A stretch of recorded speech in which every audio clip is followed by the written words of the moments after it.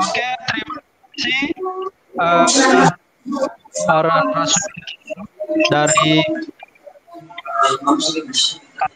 juga dari Protestan fundamental. Uh, hari ini saudara-saudara juga saya sapa para pemirsa yang menyaksikan video ini di YouTube secara live. Hari ini kita akan belajar dari dua narasumber. Kita akan diberkati kebenaran-kebenaran firman Tuhan, bagaimana kita umat Kristen mengimani iman kita kepada Yesus. Uh, sebelum kita mulai untuk memaparkan tema atau materi yang disampaikan oleh para narasumber, kita akan berdoa dulu dan saya persilakan kepada Chris untuk kita di dalam doa.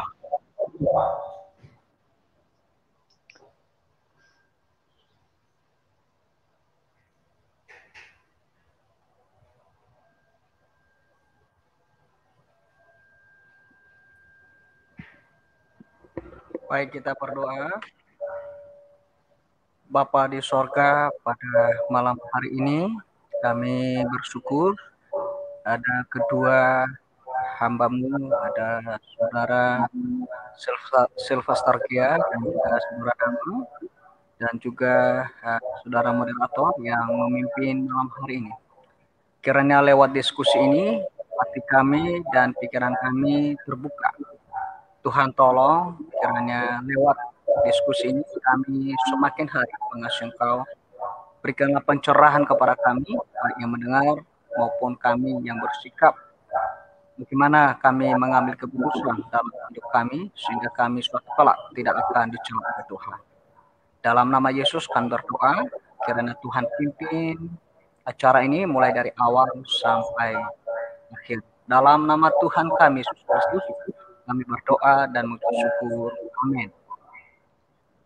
Amin. Oke. Okay. Uh, eh, hari ini acara kita ini adalah debat antara saudara-saudara kita umat Kristen sendiri. Nah, supaya kita tidak salah paham bahwa debat itu bukan untuk mencari siapa benar, siapa salah, tetapi mari kita sesuaikan sesuai de, uh, dengan singkatan dari debat itu sendiri, diskusi elegan berteologi azas temuan. Jadi kita berharap malam ini saudara-saudara kita narasumber memberikan kita diskusi yang elegan dan juga teologi yang penuh dengan besar dan uh, wawasan-wawasan yang mampu kita bisa dicerahkan untuk uh, terus memiliki iman yang teguh kepada Yesus. Hari ini kita membahas tentang tema iman vs perbuatan atau versus perbuatan. Ini ada hubungan dengan soteriologi. Sebelum kita mulai atau memberikan kesempatan untuk membagikan materi kepada narasumber, saya akan membacakan uh, CV dari kedua narasumber kita. Yang pertama narasumber yang Kristen Katolik uh, yang bernama Sylvester Destianus Gea SPD. Mohon maaf kalau salah ya. Sylvester Destianus Gea SPD. Lahir Dahana Hiligodu 31 Desember tahun 1991 dan bertempat di Dahana Hiligodo juga uh, asal ini satu desa dengan saya ini saudara uh, Silvester Tiantianus ini satu desa ya. Nah berpendidikan di juga di Dahana Siwa waktu SD di SMP di Gunung pindah di Jakarta langsung juga melanjut SMK di Jakarta juga dan menempuh studi S1 ilmu pendidikan teologi di Universitas Katolik Atmajaya Jakarta tahun 2020 sampai 2016. Nah, sangat menarik narasumber kita ini juga ber, apa ya memiliki karya tulis ada lima buku yang yang ditulis juga sebagai pengajar di bidang studi agama Katolik, seorang redaktur juga berkecimpung di dunia pengetahuan dan juga seorang kolumnis atau penulis artikel tetap atau majalah. Itulah uh, CV dari saudara kita atau dari pihak Kristen Katolik. Tapi saya informasikan kepada saudara narasumber kedua bahwa Kristen Katolik ini ada lagi ada terbagi tiga yang saya pahami ada uh, Katolik klasik, Katolik uh, moderat, dan ada Katolik karismatik. Jadi saudara-saudara, saya ini sudah ada komunikasi sebelumnya di mana uh, posisi dari saudara kita Silvistus Detianus Gea. Jadi kepada pihak narasumber kedua nanti bisa um, membuat teknologi yang sesuai dengan narasumber pertama. CV narasumber kedua yaitu yang bernama Gamalaia berpendidikan atau pendidikan SMK BNKP Husa Niatan belajar di STT BMW Bible Mission and Word. Selama dua tahun lalu pindah ke STT GITS atau Grape International Theological Seminary. Utara. Nah, ya ini saudara-saudara dari uh, apa pihak Protestan, Kristen Protestan, tapi Protestan itu bagi-bagi denominasi. Jadi nanti bagi teman saya yang pihak Katolik harus memahami teologi mana uh, yang dipegang oleh saudara kita Damalaya. Jadi di dalam Kristen Protestan itu ada denominasi beberapa terbagi lalu di dalam denominasi itu pun terbagi lagi teologi.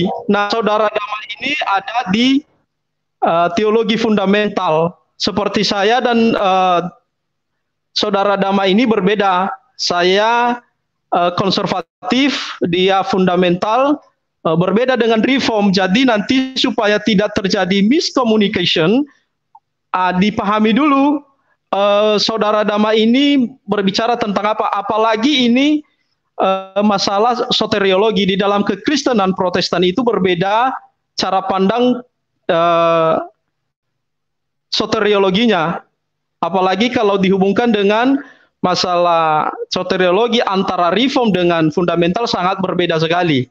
Jadi eh, supaya nanti bisa elegan cara diskusinya dan tidak salah paham, eh, biar eh, saudara-saudara bisa memahami hal ini. Oke, saya rasa sampai di situ perkenalan dan semoga hari ini kita diberkati dengan sangat luar biasa dan juga Pak Dama ini uh, pernah bergabung di misi misionaris di Yayasan Misi Remaja Indonesia pada tahun 2015 sampai 2017 dan sekarang dia lagi menempuh pendidikan di GITS ya. Oke, saya persilakan kepada uh, pembicara atau narasumber kita dari pihak Katolik untuk memaparkan materinya selama 10 menit kepada saudara kami, kami persilahkan. Baik, uh, saya akan menampilkan share screen. Mohon nanti diizinkan oleh moderator. Oke. Okay. Ya, apakah sudah kelihatan Pak? Uh, masih belum. Oke. Okay. Ya. Sudah. Ya. Oke. Okay. Uh, eh, jadi perlu saya jelaskan terlebih dahulu bahwa tidak ada yang namanya Katolik karismatik, Pak. Kalau Katolik karismatik itu hanya komunitas, ya. Jadi tidak ada Katolik karismatik. Ya. Oke, okay, okay. itu saja penjelasan di awal, ya. Oke, okay, Katolik okay. itu satu di seluruh dunia. Nah, uh, masuk ke tema, ya, keselamatan menurut iman Katolik, ya. Keselamatan adalah anugerah atau kasih karunia yang diberikan cuma-cuma, namun diperlukan tanggapan manusia melalui iman dan perbuatan. Sebab iman dan perbuatan adalah satu paket. Umpama tubuh dan nafas adalah satu. Ketika nafas keluar dari tubuh, maka tubuh itu akan mati. Selanjutnya, prinsip dan konsep keselamatan. Keselamatan baik sebelum, pada waktu, dan setelah kedatangan Yesus Kristus. Kristus menyelamatkan semua orang dan menjadi sumber berkat yang mengalir bagi semua orang. Orang-orang yang hidup baik sebelum kedatangan Kristus, saat Kristus hidup maupun setelah kedatangan Kristus, memperoleh berkat atau grace untuk menuju surga. Mengapa demikian? Karena manusia secara kodrat mempunyai kemampuan untuk mengenal dan mengasihi Sang Pencipta. Dengan mengandalkan akal budi, manusia dapat mengetahui keberadaan Tuhan. Jadi, jika sampai seorang tidak masuk surga, itu karena kesalahan pribadi manusia, bukan karena kesalahan Tuhan. Selanjutnya, Allah adalah kasih dan juga Allah adalah seorang atau adil ya. Karena kasihnya, Allah menginginkan semua orang masuk dalam kerajaan surga yang juga disebut sebagai predestinasi. Berbeda dengan double predestinasi yang mengajarkan bahwa sebagian orang ditakdirkan masuk surga atau neraka. Maka Tuhan sejak semula menginginkan manusia memperoleh kebahagiaan abadi bersama dirinya di surga sebagaimana yang dicatat dalam kejadian pasal 1 dan pasal 2. Selanjutnya, meskipun demikian, Allah menginginkan agar manusia dapat membalas kasih Tuhan dengan bebas. Maka Tuhan memberikan free will. Dengan free will ini, manusia dapat berkata ya atau tidak terhadap tawaran Tuhan. Nah, free will ini diberikan kepada manusia sebagai ekspresi kasih yang dalam dari Allah kepada manusia. Maka keadilan Allah juga terlihat dalam kitab suci, di mana ia menuntut banyak kepada yang diberi lebih banyak. Kemudian Allah melihat hati kita yang terdalam. Tuhan melihat apakah manusia mengasihi Allah dengan segenap hati, pikiran, kekuatan, dan mengasihi sesama. Kata Yesus, ya dalam Matius bahwa semua ini tergantung hukum Taurat dan kitab para nabi. Dan ini harus diwujudkan dalam perbuatan, tidak hanya sekedar kata-kata. Hal ini berkaitan dengan menempatkan kebenaran di atas segalanya atau sepuluh perintah Allah yang diringkas oleh Yesus menjadi dua, yaitu mengasihi Allah dan mengasihi sesama. Kemudian ada tiga hal untuk melihat sesuatu yang baik secara moral, ya, yaitu yang pertama maksud, yang kedua situasi, dan ketiga moral objek. Dan hanya Tuhan yang tahu moral maksud yang dilakukan oleh setiap orang. Maka gereja Katolik percaya bahwa sakramen baptis mutlak karena merupakan pintu masuk ke dalam keselamatan Kristus. Nah, kitab suci sendiri mengajarkan bahwa pembaptisan adalah simbol kematian dan kebangkitan bersama Kristus Tuhan. Sekarang saya akan menunjukkan bagaimana kaitan iman dan perbuatan melalui tiga orang tokoh yaitu Yesus, Paulus, dan Yakobus. Sekarang adalah ajaran Yesus. Ajaran Yesus dalam Matius 7 ayat 19 sampai 21 dikatakan bahwa dari buahnya kita mengenal mereka. Pada hari terakhir bukan hanya yang berseru Tuhan Tuhan yang selamat, tetapi yang mereka atau yang melakukan kehendak Bapa. Sedangkan pembuat kejahatan diusir oleh Tuhan. Ya, dalam Matius 7 ayat 19 sampai 23. Kemudian pada Matius 25 ayat 31 sampai 46 semua orang beriman dihakimi di hadapan Yesus. Orang melakukan perbuatan terhadap salah seorang yang paling hina akan diberikan tempat di sebelah kanannya. Sementara mereka yang tidak berbuat apa-apa ditempatkan di sebelah kirinya. Orang-orang yang ditempatkan di sebelah kiri akan dimasukkan ke dalam tempat siksaan yang kekal. Sementara itu, orang yang beriman dan melakukan perbuatan dalam ayat 37 dan orang yang diberkati Bapa dalam ayat 34 mereka mendapatkan kerajaan Allah yang telah disediakan bagi mereka. Selanjutnya, ajaran Yesus tentang iman dan perbuatan juga dalam Wahyu 22 ayat 6 sampai 12, yaitu di mana yang saya ceritakan ini adalah tentang akhir zaman, ya, di mana ada penghakiman. Wahyu 22 dikatakan demikian. Ia akan membalas setiap orang menurut perbuatannya. Lihat ayat 12. Tukang sihir, pesundal, pembunuh, dan lain sebagainya tinggal di luar. Sementara orang-orang yang menuruti perkataan dan dalam kitab suci akan berbahagia. Kemudian, juga ajaran Yesus tentang iman dan perbuatan adalah satu paket Matius 19 ayat 13 sampai 30 di mana ada kisah seorang kaya datang kepada Yesus dan bertanya, perbuatan baik apa yang harus dilakukan untuk memperoleh yang hidup yang kekal. Setelah dia mengimani sepuluh perintah Allah, Yesus mengatakan, orang kaya itu harus menjual miliknya dan membagikan hasilnya kepada orang miskin, maka orang kaya itu memperoleh harta di surga. Dan masih banyak perikop lain atau perumpamaan tentang perjamuan kawin juga gadis bijaksana dan gadis bodoh yang menjadi ajaran Yesus di mana Yesus tidak pernah mengajarkan cukup beriman saja selamat tetapi Yesus mengajarkan bahwa iman dan perbuatan adalah satu paket yang tidak bisa terpisahkan. Nah, ini adalah ajaran Yesus. Sekarang kita lihat ajaran Rasul Paulus yang sering disalahartikan. Ajaran Rasul Paulus dalam Efesus 2 ayat 1 sampai 10, Paulus mengatakan bahwa keselamatan itu kasih karunia diperoleh cuma-cuma melalui iman. Namun dalam konteks ini, Rasul Paulus tidak mempertentangkan bahwa setelah beriman sudah cukup. Sebab pada surat lain, Rasul Paulus menekankan pada kita untuk mengerjakan keselamatan kita. Dan tidak mungkin Paulus membuat surat yang isinya saling kontradiktif.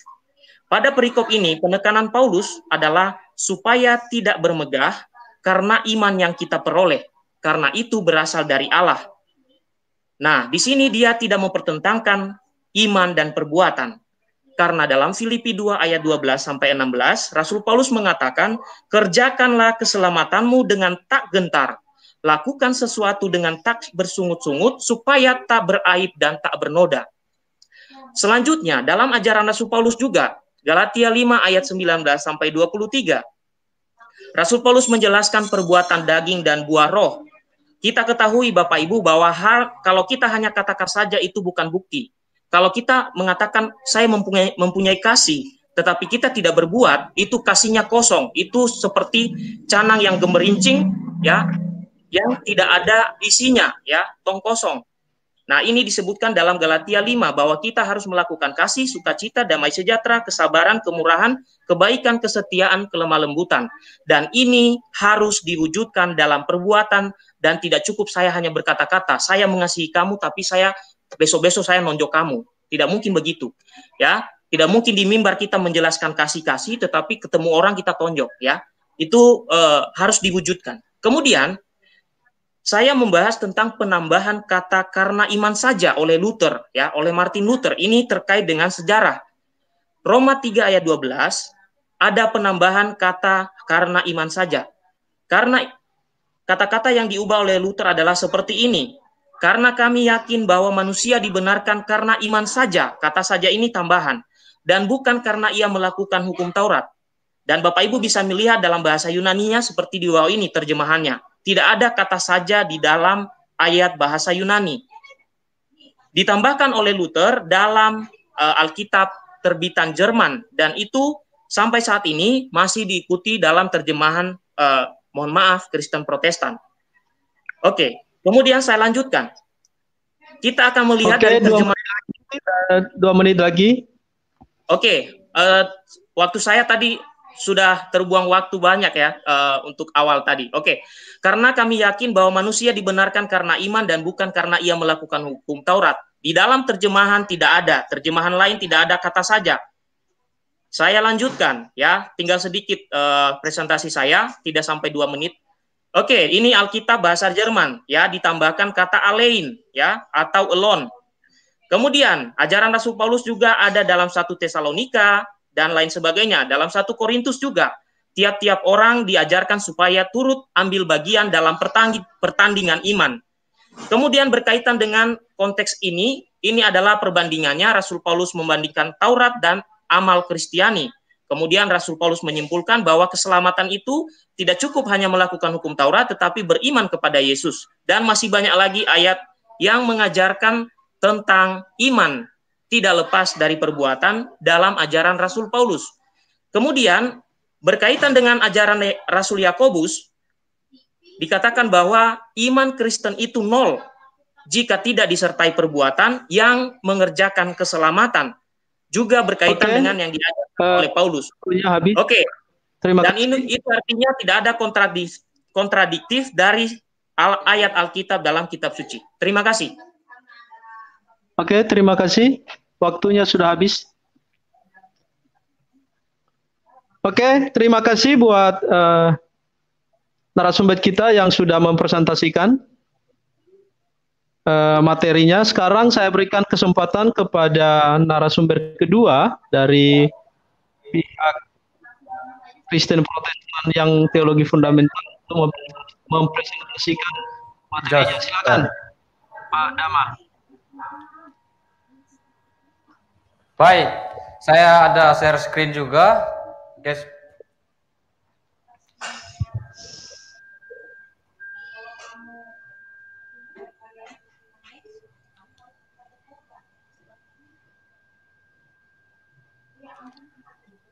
Baik, awal kita melihat uh, sebuah definisi dulu ya iman versus perbuatan. Di sini saya mau menekankan bahwa apakah untuk memperoleh keselamatan cukup dengan iman saja atau ditambah dengan perbuatan. Kita lihat definisi. Definisi iman yaitu keyakinan dan kepercayaan yang bersifat respon melalui ketetapan hati seseorang. Ini menurut Kamus Besar Bahasa Indonesia.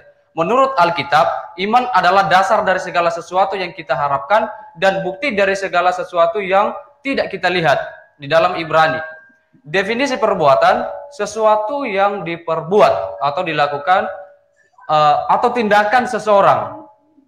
Dan definisi yang bisa dibawakan kepada kepercayaan yang banyak dikutip yaitu sikap yang baik dari manusia terhadap sesamanya ialah untuk tidak membuat kekacauan. Sedangkan sikap yang baik dari manusia kepada Allah adalah untuk mendamaikan diri atas dosanya sendiri.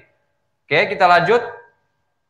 Ini adalah peta jalan, ini rahasia. Ini saya eh, pertegaskan posisi saya. Saya dispensasionalis, bukan covenant.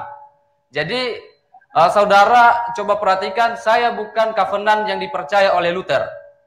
Oke, saya baptis fundamental yaitu dispensasional. Lanjut. Ini adalah tulisan ini yang diciptakan oleh Dr. Suentolio dan banyak penjelasannya. Silakan di di yang ketiga seterusnya. Baik, kita memulai ya. Kita melihat di dalam Alkitab, di dalam kitab Kejadian pasal 3 bahwa manusia itu melanggar perintah Tuhan.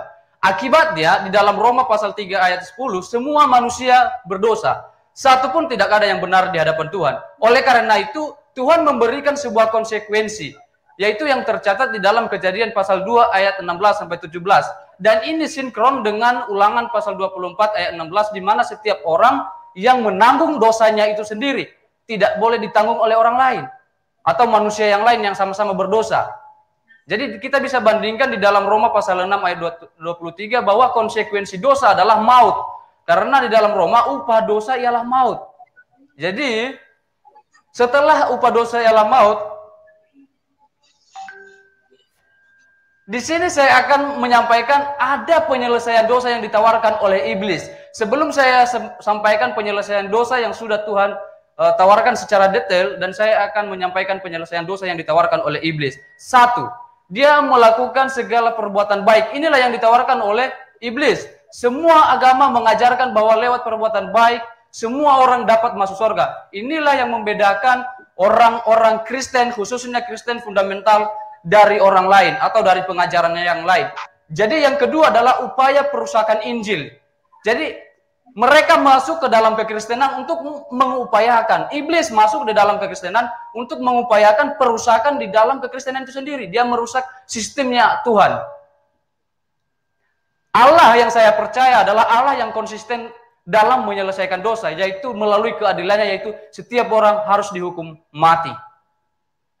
Jadi, Bukan hanya keadilan Allah aja, tapi Allah juga adalah maha kasih. Yohanes pasal 3 ayat yang 16. Karena begitu besar kasih Allah akan dunia ini sehingga setiap orang yang percaya kepadanya beroleh hidup yang kekal, uh, melainkan beroleh hidup yang kekal dan dia tidak intinya tidak binasa. Setiap orang yang percaya kepadanya tidak binasa melainkan beroleh hidup yang kekal. Inilah janji yang Tuhan janjikan di dalam Kejadian pasal 3 ayat yang 15. Jadi janji akan kirim juru selamat ini bahwa ada nanti keturunan perempuan yang akan meremukan kepala ular dan itu yang menyelamatkan mereka. Orang-orang yang di dalam perjanjian lama itu. Jadi sebelum janji itu datang, maka Tuhan memerintahkan sebuah ibadah simbolik sederhana. Jadi ini tercatat di dalam perjanjian lama. Jadi saudara, di sepanjang zaman perjanjian lama, dari zamannya Adam, Nuh, Musa, Daniel, hingga nanti zaman Yohanes Pembaptis, semua orang dalam perjanjian lama itu diselamatkan melalui iman kepada juru selamat yang akan datang. Jadi orang di dalam perjanjian lama, kalau dia mau diselamatkan, dia harus mempersembahkan korban. Sehingga banyak tercatat di dalam kitab ulangan, bilangan imamat bahwa korban penghapusan dosa. Tetapi bukanlah persembahan dia itu yang menyelamatkan dia. Atau perbuatannya itu yang menyelamatkan dia. Yang membebaskan dia dari dosa. Sebab upah dosa adalah maut, bukan perbuatan baik.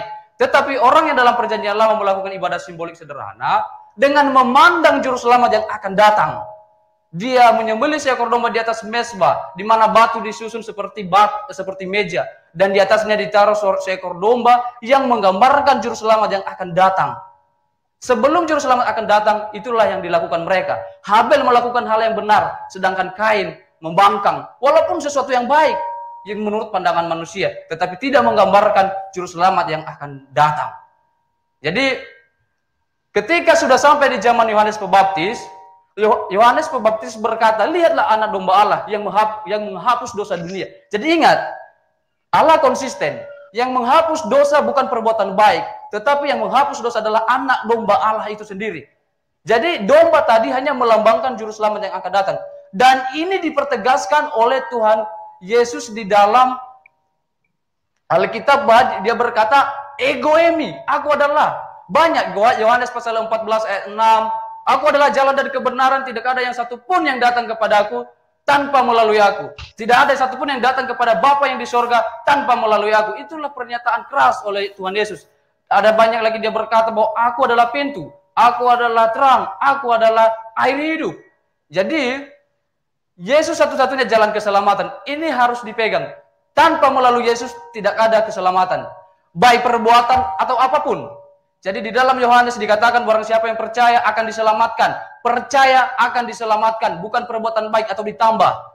Jadi Roma pasal 10 ayat 9 sampai 10, yang percaya dalam hati dan mengaku Yesus sebagai Tuhan dalam hidupnya akan diselamatkan. Satu Yohanes yang percaya kepada nama Allah akan diselamatkan atau, atau memiliki hidup yang kekal. Efesus pasal 2 ayat 8 sampai 9 diselamatkan karena apa? Kasih karunia. Melalui apa? Iman. Bukan karena perbuatan baik atau hasil dari, dari pekerjaan seseorang. Titus pasal 3 ayat 5 menegaskan bahwa yang menyelamatkan bukan perbuatan baik, tetapi Tuhan Yesus. Jadi saudara kalau Anda bertanya bagaimana keselamatan dalam perjanjian baru atau setelah Yesus sudah disalib, di sini kita melihat titik transaksi rohani antara orang percaya dan kepada Tuhan yang menyelamatkan kita. Kita percaya. Kalau kita percaya sudah otomatis akan diikuti dengan pertobatan. Kita mengakui Yesus sebagai Tuhan dan Juru Selamat hidup kita. Kita mengakui kita orang berdosa. Kita mengakui bahwa kita harus harus mati karena dosa kita. Kita tidak bisa berbuat sesuatu kalau bukan karena Tuhan. Atau kita tidak bisa berbuat sesuatu untuk menghapus dosa kita. Karena perbuatan baik kita tidak menghapus dosa kita. Inilah transaksi rohani. Jadi dalam Galatia pasal 2 ayat 20, hidup yang kuhidupi sekarang adalah bukan lagi aku sendiri. Jadi Tuhan Yesus yang hidup di dalam aku. Jadi bagaimana kehidupan orang percaya? Kehidupan orang percaya adalah harus menghasilkan buah pertobatan itu. Harus tidak boleh memiliki iman yang kosong. Seperti yang Yakobus cap bagi orang-orang Yahudi di perantauan atau yang diaspora. Dia bilang, jangan hanya mengakui beriman. Tetapi kalau tanpa perbuatan, imanmu tak berarti, tak berfaedah, kosong, mati. Jadi ini himbauan. Kalau kamu memiliki iman, kalau kamu memang orang percaya, harus berbuah. Harus memperlihatkan lewat perbuatan dan buahnya harus dikenal oleh orang-orang di sekitar kamu. Itu yang Tuhan Tuhan tegaskan di dalam Lukas.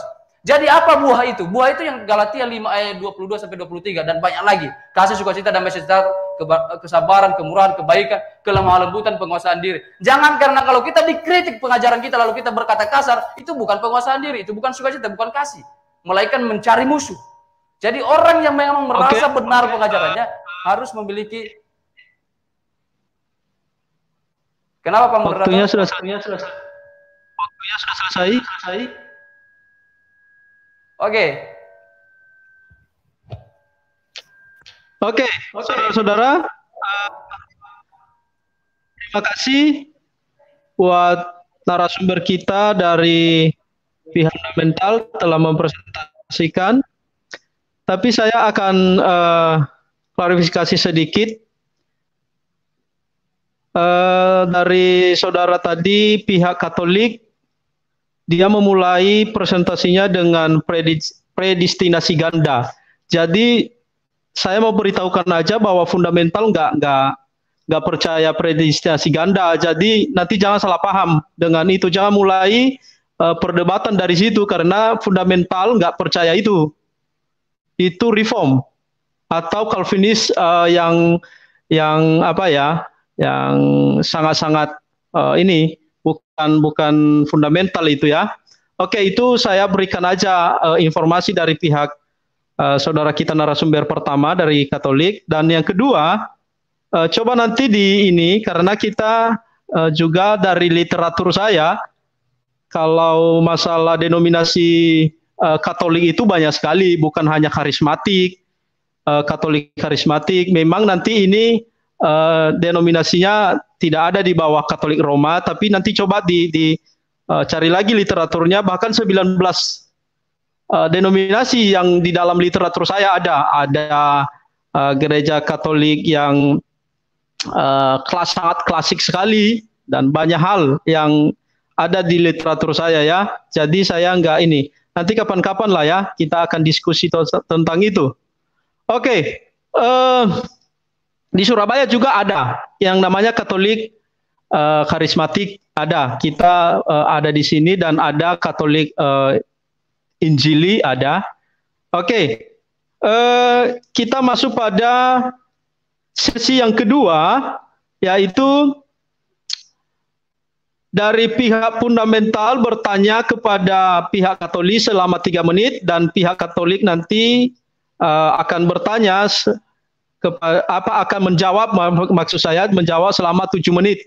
Dan kita akan berlangsung, berlangsung selama uh, 20 menit untuk uh, sesi kedua ini, maka nanti pada saat uh, selesai tujuh menit jawaban dari uh, saudara kita dari Katolik, maka akan disambung kembali untuk bertanya atau menanggapi selama lima menit dari fundamental. Begitu juga Katolik nanti akan menanggapi juga selama lima menit.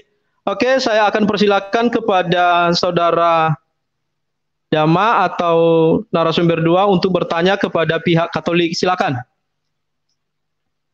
di share screen saya yang nomor 13. Oke. Okay.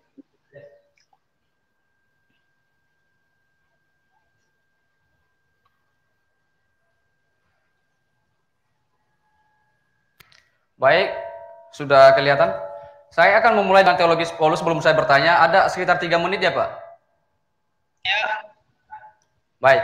Saya mau memberikan sebuah perbedaan teologi Paulus dan Yakobus. Di sini Paulus menekankan dasar pengampunan dosa. Ingat, kita fokus kepada pengampunan dosa.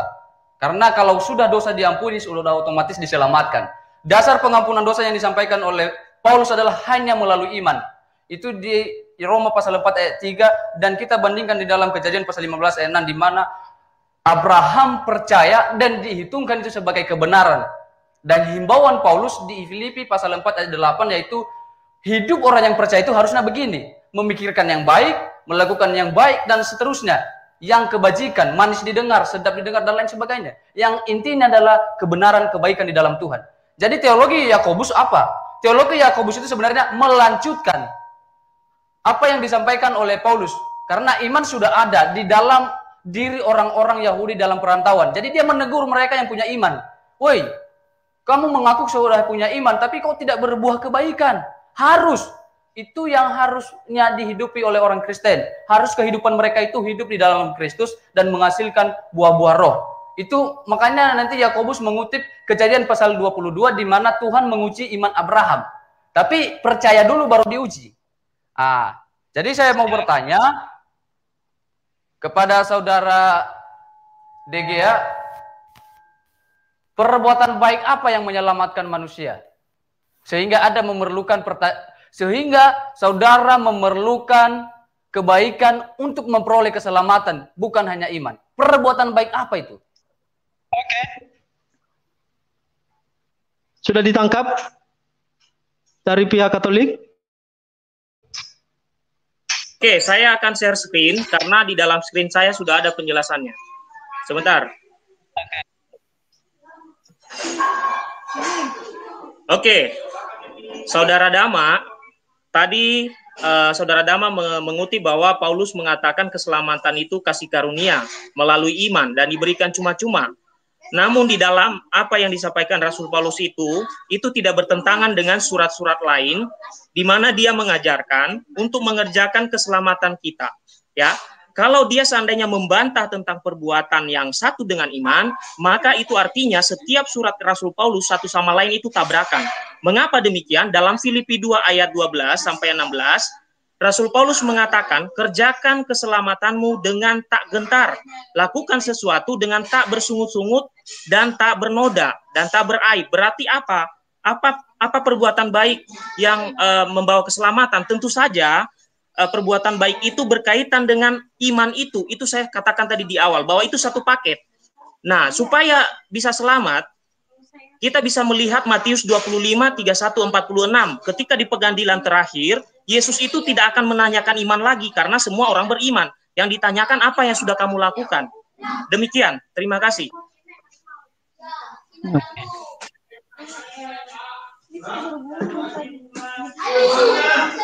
On. pertanyaan saya. Pertanyaan saya itu adalah saudara coba berikan kepada saya contoh kebaikan apa yang diperlukan untuk memperoleh keselamatan karena saudara berkata bukan hanya iman tapi plus plus perbuatan atau satu paket dengan perbuatan. Kalau satu paket itu bisa dibolak-balik. Tetapi ayat saya mau sanggah ayat yang saudara sampaikan yaitu di dalam ayat itu dikatakan bahwa kerjakan keselamatan dalam Filipi. Kerjakan keselamatan dalam di sana adalah memperoleh dulu keselamatan baru dikerjakan. Kalau itu saya setuju. Tapi persoalannya untuk mendapatkan keselamatan itu sendiri, perbuatan apa yang harus kita lakukan? Sehingga diperlukan perbuatan. Gini, baca apa yang saya tunjukkan di slide.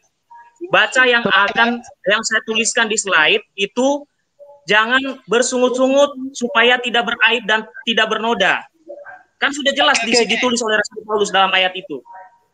Oke, saudara-saudara yang yang narasumber, saya minta tolong untuk uh, tidak dipotong penjelasan dari uh, salah satu narasumber supaya supaya kita tidak ini tidak debat uh, usil supaya teratur jangan sampai dipotong ininya begitu juga dari uh, Dama nanti kalau ada pertanyaan jangan dipotong ya supaya bisa ini bisa teratur dulu ininya nanti dijawab ada kesempatan Oke, okay, eh, kesempatan atau waktu dari uh, saudara Dama itu tinggal satu menit untuk uh, memberikan tanggapan. Silakan. Baik, kalau begitu silakan baca ya saya pasal 64 ayat 6.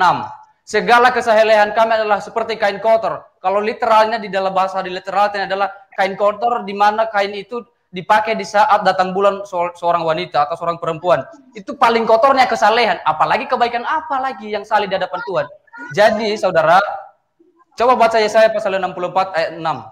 Kebaikan aja kata Yesaya adalah seperti kain kotor seperti kain kotor di hadapan Tuhan.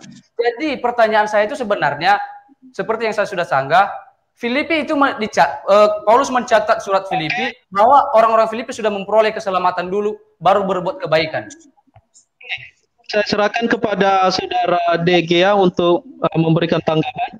Oke, dalam penjelasan saya tidak ada terlepas iman dan perbuatan. Saya katakan keselamatan itu karunia Tuhan atau anugerah Tuhan yang ditanggapi dengan iman dan perbuatan. Nah, kalau saudara mengutip Yesaya, saya mau mengatakan apakah di penghakiman terakhir yang diceritakan oleh Yesus dalam Matius 26 ayat 31 sampai 46 itu adalah sesuatu yang salah. Mengapa Yesus bertanya tentang perbuatan di situ? Jangan tanya tentang iman karena di situ sudah iman semua, orang yang beriman yang diadili. Kenapa dia yang dia tanyakan apa yang telah kamu perbuat terhadap orang yang paling miskin atau paling hina ini? Kenapa itu? Itu di penghakiman terakhir dan bukan di tempat lain, ya. Itu saya mau berkata apakah itu bertentangan dengan ayat Yesaya atau tidak? Silakan. Terima kasih, Pak. Oke, silakan uh, Saudara Dama untuk menanggapi. Selamat. Baik, mungkin saudara Dertianus ini nggak baca semua. Penghakiman di yang akan kita hadapi, sebelum saya jelaskan, saya mau tanya dulu. Ada dua catat ya. Pertanyaan pertama saya, berapa penghakiman yang akan dilakukan oleh Tuhan? Ada ada berapa? Nanti akan saya jelaskan. Yang pertanyaan di iman perbuatan aja kita fokus di situ aja saudara Daman supaya nggak terlalu uh, ini lebar. Baik. Silakan. Dalam penghakiman ada dua. Penghakiman tata putih dan bema Kristus. Bema Kristus tercatat di dalam 2 Korintus pasal 5 ayat 10. Dan itu semua orang-orang beriman ke sana. Dan yang sudah menghadap kepada bema Kristus itu tidak lagi dibuang ke neraka. Sedangkan Tata putih itu tercatat di dalam Wahyu pasal 20 ayat 11. Itu menghadap pengadilan tata putih semua perbuatan mereka yang akan memposisikan ke mereka ke neraka di mana lebih berat apa lebih sulit tetapi tetap masuk ke dalam neraka. Itu penghakiman dulu saya jelaskan. Pertanyaan saya jika saudara mendapatkan keselamatan lewat perbuatan perbuatan apa yang dilakukan, perbuatan baik apa yang dilakukan oleh penyamun yang ada di samping Yesus. Sehingga dia langsung dikatakan oleh Tuhan Yesus, hari ini juga engkau bersama-sama dengan aku. Oke, sudah selesai pertanyaannya? Silakan. Oke, ya. Tadi saya belum dijawab apakah Yesaya itu bertentangan dengan apa yang ada dalam Matius 25. Tidak apa-apa. Tapi pertanyaan yang ditanya ke saya, apa yang diperbuat oleh orang yang ada di atas salib yang ketika Yesus berkata, hari ini engkau bersama aku di Firdaus. Dia mengaku dengan mulutnya. Mengaku dengan mulut itu perbuatan. Ya, mengaku dengan mulut itu perbuatan. Bukan hanya mengaku di situ, tapi dia mau mengatakan bahwa Yesus ini dia menegur temannya. Coba perhatikan kisahnya. Dia menegur temannya. Hei, kamu jangan melakukan itu. Kita ini sama-sama orang berdosa. Orang ini adalah orang yang benar. Perbuatannya di situ adalah mengaku dengan mulutnya bahwa Kristus adalah penyelamat. Jadi iman, ya saya tegaskan lagi, dalam iman Katolik tidak ada pemisahan antara perbuatan dan iman. Karena kalau kita beriman, pasti kita berbuat karena Yesus mengatakan, "Hendaklah kamu sempurna sama seperti Bapa dan aku adalah sempurna." Apa arti sempurna di situ? Ya, kita melakukan buah-buah roh tadi yang diajarkan oleh Rasul Paulus. Kalau kita tidak melakukan, berarti itu kita tong kosong. Seperti cana yang gemerincing. Seperti itu. Terima kasih.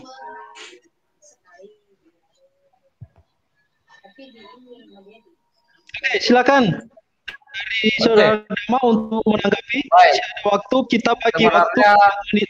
menit. Oke. Udah, Pak. Ya, silakan. Baik. Sebenarnya bukan saya nggak menjawab ya saya itu dengan penghakiman. Itu nggak ada hubungannya. Itu salah tafsir. Yesaya itu bicara tentang kehidupan orang itu berkenan atau tidak di hadapan Tuhan. Itu maksud Yesaya. Coba baca semua. Yesaya pasal 60 di mana kehidupan orang-orang Israel di zaman Yesaya itu dia bilang kesalehan apa yang membuat kami berkenan di hadapan Tuhan? Enggak ada.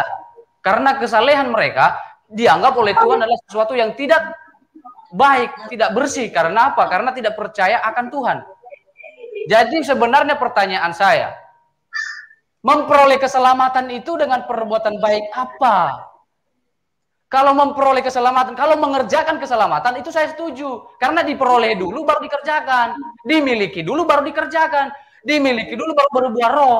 Bagus, betul. Itu yang saya setuju. Yang saya nggak setuju itu memperoleh keselamatan dengan perbuatan baik. Memperoleh, memiliki. Itu yang saya setuju. Kalau saudara mengatakan pengakuan mulut itu adalah perbuatan baik, atau pengakuan kita itu perbuatan baik di hadapan Tuhan, Itu makanya saya ikuti biasanya pasal 60, 64. Jadi, kalau coba lihat kamu sudah, per, definisi perbuatan itu apa? Tindakan loh, action. Yang keluar, yang kelihatan, itu perbuatan. Gitu loh. Jadi saya mau ibaratkan, perbuatan itu seperti buah dari pohon dan iman itu adalah akarnya. Jadi dimiliki dulu akarnya, baru ada pertumbuhannya sehingga berbuah. Itu makanya ayat-ayat yang lain dia katakan, kejarlah keselamatan kamu, hiduplah sempurna. Sempurna dengan apa? Berbuat baik, berbuat kebajikan dan lain sebagainya. Itu saya setuju. Yang saya nggak setuju itu kalau iman plus perbuatan. Jadi harus Katolik menegaskan bahwa Katolik itu sebenarnya iman plus perbuatan. Tanpa perbuatan, kalau seandainya saya percaya mengakui Yesus sebagai Tuhan dan Juru Selamat hidup saya sekarang, langsung mati, meninggal. Apakah selamat? Kalau saudara lagi terkecoh lalu bilang, kan kamu mengakui, itu kan perbuatan kamu. Lah, kalau saya seandainya tidak ber, kalau ada orang yang mengaku Yesus sebagai Tuhan dan Juru Selamat hidupnya, dia percaya, tapi orang lumpuh, tidak bisa bicara, hanya bisa mendengar, mendengarkan berita Injil, tidak bisa bicara, tidak bisa dia tuh norumo, nggak bisa bicara, nggak bisa bergerak, nggak bisa berbuat baik-baik, nggak bisa berbuat baik apa pun. Tapi dia hanya diam aja bisu gitu. Tapi dalam hati tidak dia percaya Yesus sebagai Tuhan dan Juru Selamat hidupnya. Diselamatkan nggak? Memperoleh keselamatan nggak? Itu yang jawab.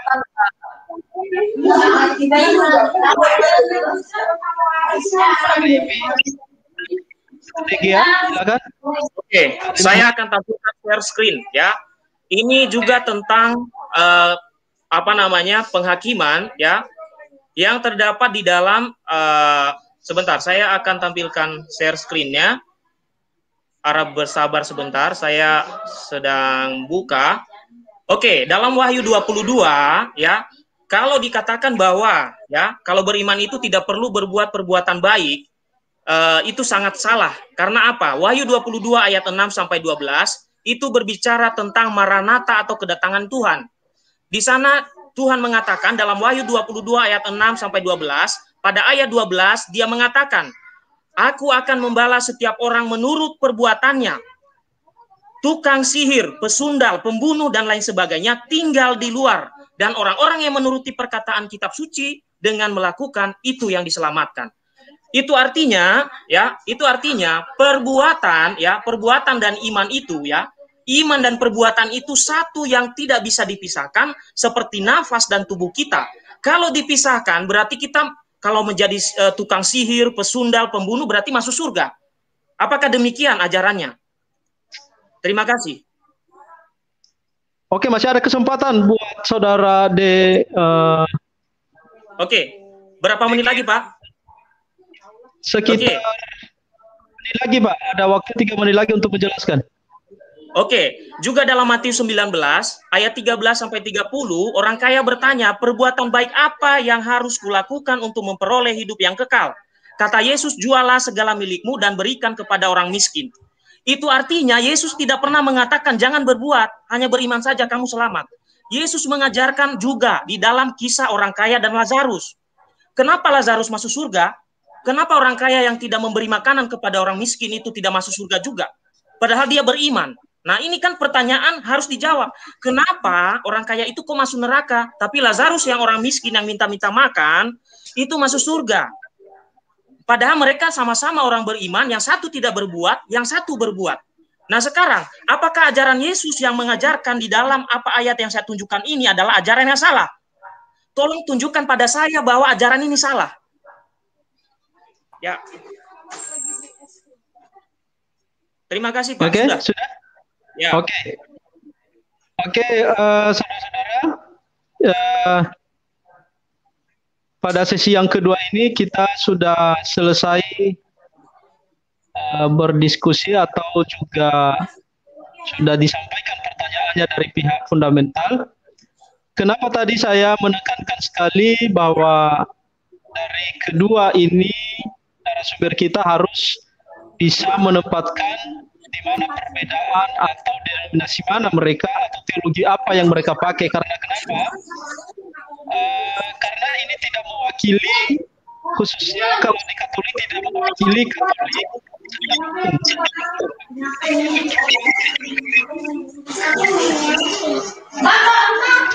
Suara Pak Moderator kurang kedengaran. Oke, kurang kedengaran ya? Oke, kenapa tadi saya uh, menekankan sekali masalah uh, di mana posisi dari kedua narasumber supaya uh, kita paham semuanya yang baik yang mendengar, yang lagi live bahwa kedua narasumber ini tidak mewakili dari dua agama. Jadi di pihak Katolik tidak mewakili Katolik keseluruhan, juga di Protestan tidak mewakili Protestan keseluruhan. Jadi kita sama-sama belajar di sini, kita saling uh, berdiskusi secara elegan dan apa yang kita pahami. Itulah sebabnya kenapa saya uh, begitu memperjelas dari awal dari kedua pembicara kita.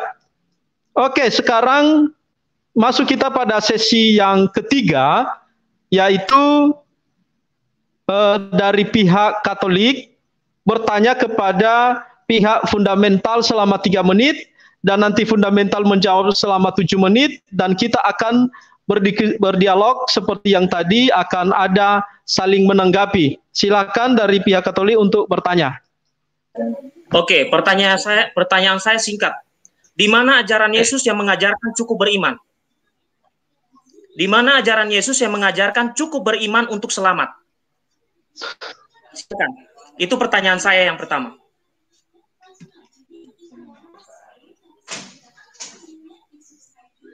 Saya jagain adiknya. Bagaimana Pak Moderator? Udah? Oh, silakan, silakan dijawab. Oh, iya. Silakan. Oh ya. Baik. Di mana pengajaran Yesus hanya cukup beriman? Sebelum saya jawab ini, saya klarifikasi ayat-ayat yang saudara sudah sampaikan. Lazarus dan orang kaya, orang miskin dan orang kaya. Oke? Okay? Jadi, orang kaya itu masuk surga, masuk neraka bukan karena perbuatan. Orang Lazarus juga bukan karena masuk surga karena juga perbuatan. Akan nanti saya jawab akan nanti saya jawab kalau cukup beriman. Jadi, kalau hanya cukup beriman, cukup beriman di mana ayatnya? Di mana pengajaran Yesus? Yohanes pasal 3 ayat 16 atau ayat 18. Itu ayat yang familiar bahwa di sana dikatakan karena begitu besar kasih Allah akan dunia ini sehingga setiap orang yang percaya kepadanya tidak binasa melainkan beroleh hidup yang kekal. Di ayat yang ke-18 dikatakan siapa yang percaya tidak tidak lagi di bawah penghukuman dosa. Percaya loh, iman loh. Jadi yang kita tekankan di sini adalah perbedaan memperoleh keselamatan. Jadi kalau fundamental itu percaya bahwa memperoleh keselamatan itu di saat dia percaya kepada Yesus sebagai Tuhan dan Juru Selamat hidupnya dan dimeteraikan oleh Roh Kudus dalam Efesus pasal 1 ayat 13. Dan di situ dia sudah memiliki keselamatan. Jadi ketika dia sudah memiliki keselamatan, himbauan untuknya adalah atau untuk orang-orang percaya adalah hiduplah di dalam Tuhan. Buat berbaik, kebajikan, yang manis disedap dengar, berbuat kasih dan lain sebagainya yang intinya kebaikan. Itu baru dikerjakan setelah memperoleh keselamatan. Ingat, itu baru dihitung kebenaran atau kebaikan di dalam hidup seseorang ketika sudah terlebih dahulu memperoleh keselamatan. Tapi memperoleh keselamatan tidak dengan perbuatan, tetapi hanya dengan iman. Hanya dengan percaya saja. Siapa yang percaya lepas dari hukuman itu Yohanes pasal 3 ayat 18. Jadi dari tadi saya tanya, perbuatan baik apa untuk memperoleh keselamatan? Jadi saudara mengutip ayat-ayat yang saya yang saya bilang adalah sebenarnya ayat itu menunjukkan kepada orang yang telah memperoleh keselamatan. Ingat, yang telah memperoleh keselamatan. Oke. Okay. Oke. Okay. Silakan okay. kalau ada Oke, dari penjelasan saudara Dama berarti ajaran Yesus ini saling bertentangan satu sama lain karena di di bagian Matius 25 ayat 31 sampai 46 di situ dia bertanya perbuatan. Ya, berarti iman dan perbuatan di situ adalah satu. Kenapa dia bertanya iman di situ atau perbuatan di situ kalau hanya percaya saja selamat? Berarti ajaran Yesus ini satu sama lain tabrakan. Mengapa kok bisa tabrakan seperti itu? Nah, Matius 25 itu Bapak Ibu, baca aja judulnya, penghakiman terakhir. Penghakiman terakhir loh, saya tidak ngarang-ngarang di situ. Tapi kenapa yang ditanya, apa yang telah kamu perbuat untuk salah seorang yang paling miskin atau paling hina? Mengapa itu yang ditanya? Kenapa tidak? Apakah kamu percaya dengan saya? Ya. Kenapa itu yang itu penghakiman terakhir? Saya tidak karang-karang. Nah, dalam uh, Wahyu 22 juga sama, ayat 6 sampai 12. Yang ditanya perbuatan, katanya orang pesundal, pezina itu dibuang keluar. Kenapa itu yang dibutuhkan? Kenapa? Kenapa tidak hanya iman saja? Mereka kan beriman. Biarkan mereka bersundal masuk aja ke surga. Ya kan? Kan udah beriman. Kok bertentangan semua ajaran Yesus ini dengan paham seperti tadi? Yang satu, uh, kalau percaya pasti selamat, tidak di bawah hukum. Tapi kok di penghakiman terakhir, kok ada pertanyaan, apa yang telah kamu perbuat terhadap orang yang paling miskin di antara kamu? Kenapa kok ada itu? Nah, maksud saya di sini kok ajaran ini satu sama lain jadinya berantakan loh. Ini nabrak sini, yang satu nabrak sini lagi. Nah, itu yang saya mau pertanyakan, kenapa demikian? Terima kasih. Oke, silakan Saudara Baik. Dama kalau Silakan baca di ayatnya yang ke-20 ke-32. Lalu semua bangsa akan dikumpulkan di hadapannya dan ia akan memisahkan mereka seorang daripada seorang sama seperti gembala memisahkan domba dan kambing. Ingat, domba di sini diibaratkan adalah orang percaya dan kambing orang yang tidak percaya. Ini penghakiman terakhir ini adalah untuk mendapatkan upah yang dilakukan oleh orang-orang percaya sehingga Paulus mencatat bahwa kamu akan mendapat mahkota dan lain sebagainya. Upah upah yang mereka lakukan ketika sudah diselamatkan. Karena di sana di sana itu sudah sudah ini apa orang yang percaya dan orang yang tidak percaya. Domba dan kambing terpisah. Jadi kalau saudara berkata kok sepertinya saling bertentangan? Karena saudara tidak bisa menafsir dan tidak bisa mengharmoniskan semua ayat Alkitab. Jadi kalau Tuhan bertanya perbuatan apa yang kau lakukan, ini tidak ada hubungannya dengan keselamatan, saudara. Coba ayat, coba dibaca semua ayatnya, direnungkan. Ini ada hubungan dengan keselamatan tidak? Baca secara kontekstual dan baca secara secara uh, literal. Ini dia bisa nggak diliteralkan? Bisa nggak kita paham secara literal? Kalau tidak, kita kita lihat secara kontekstual. Oke, setelah ini literal ya. Oke. Setelah Jadi, ini kita literal. Oke. Jadi, okay. kalau kita kalau Ya, Oke. Okay. Pak Arifan, bagaimana? Jadi saya mohon untuk yang narasumber uh, jangan saling ini karena ini kan saya sudah bilang tadi ini diskusi elegan tapi uh, maksud saya jangan saling merendahkan teman atau dengan kata-kata yang apa enggak enggak pinter, enggak boleh, enggak bisa menafsirkan, enggak gitu-gitu. Maksud saya kita uh, hargai akademik lain ya. Oke, saya rasa seperti itu. Oke, silakan ditanggapi. Oke. Kita lihat secara literal Matius 25 ayat 31 sampai 46. Dikatakan di awal, coba lihat premisnya. Semua semua bangsa berkumpul di hadapan Yesus. Semua bangsa itu bukan per orang loh, semua, semua bangsa. Nah, ketika semua bangsa sudah berkumpul, baru dipisahkan, baru disebut kambing, ya, disebut kambing orang yang tidak berbuat disebut domba orang yang berbuat, beriman dan berbuat. Perhatikan nanti apa yang terjadi selanjutnya. Kita baca selanjutnya misalnya dikatakan kepada orang yang disebut domba tadi lalu berbuat kepada orang yang miskin, dikatakan, "Hei kamu orang-orang yang diberkati Bapakku, terimalah kerajaan yang diberikan kepadamu dan dimasukkan ke dalam tempat yang baik." Kemudian yang ditentukan sebagai kambing ditanya, "Apa yang sudah kamu buat?" Mereka katakan, Sejak kapan kami melihat Tuhan telanjang dalam penjara, tidak punya pakaian, lah terus Tuhan bilang, apa yang kamu buat terhadap yang paling hina ini itu yang kamu perbuat untuk aku. Nah, karena kamu tidak berbuat, masuklah ke dalam tempat yang paling gelap, di sana ada ratap gigi. Nah, pertanyaan saya adalah itu jelas-jelas ditulis kok. Anda membantah. Terima kasih. Oke, silakan Saudara Dama untuk menanggapi. Baik.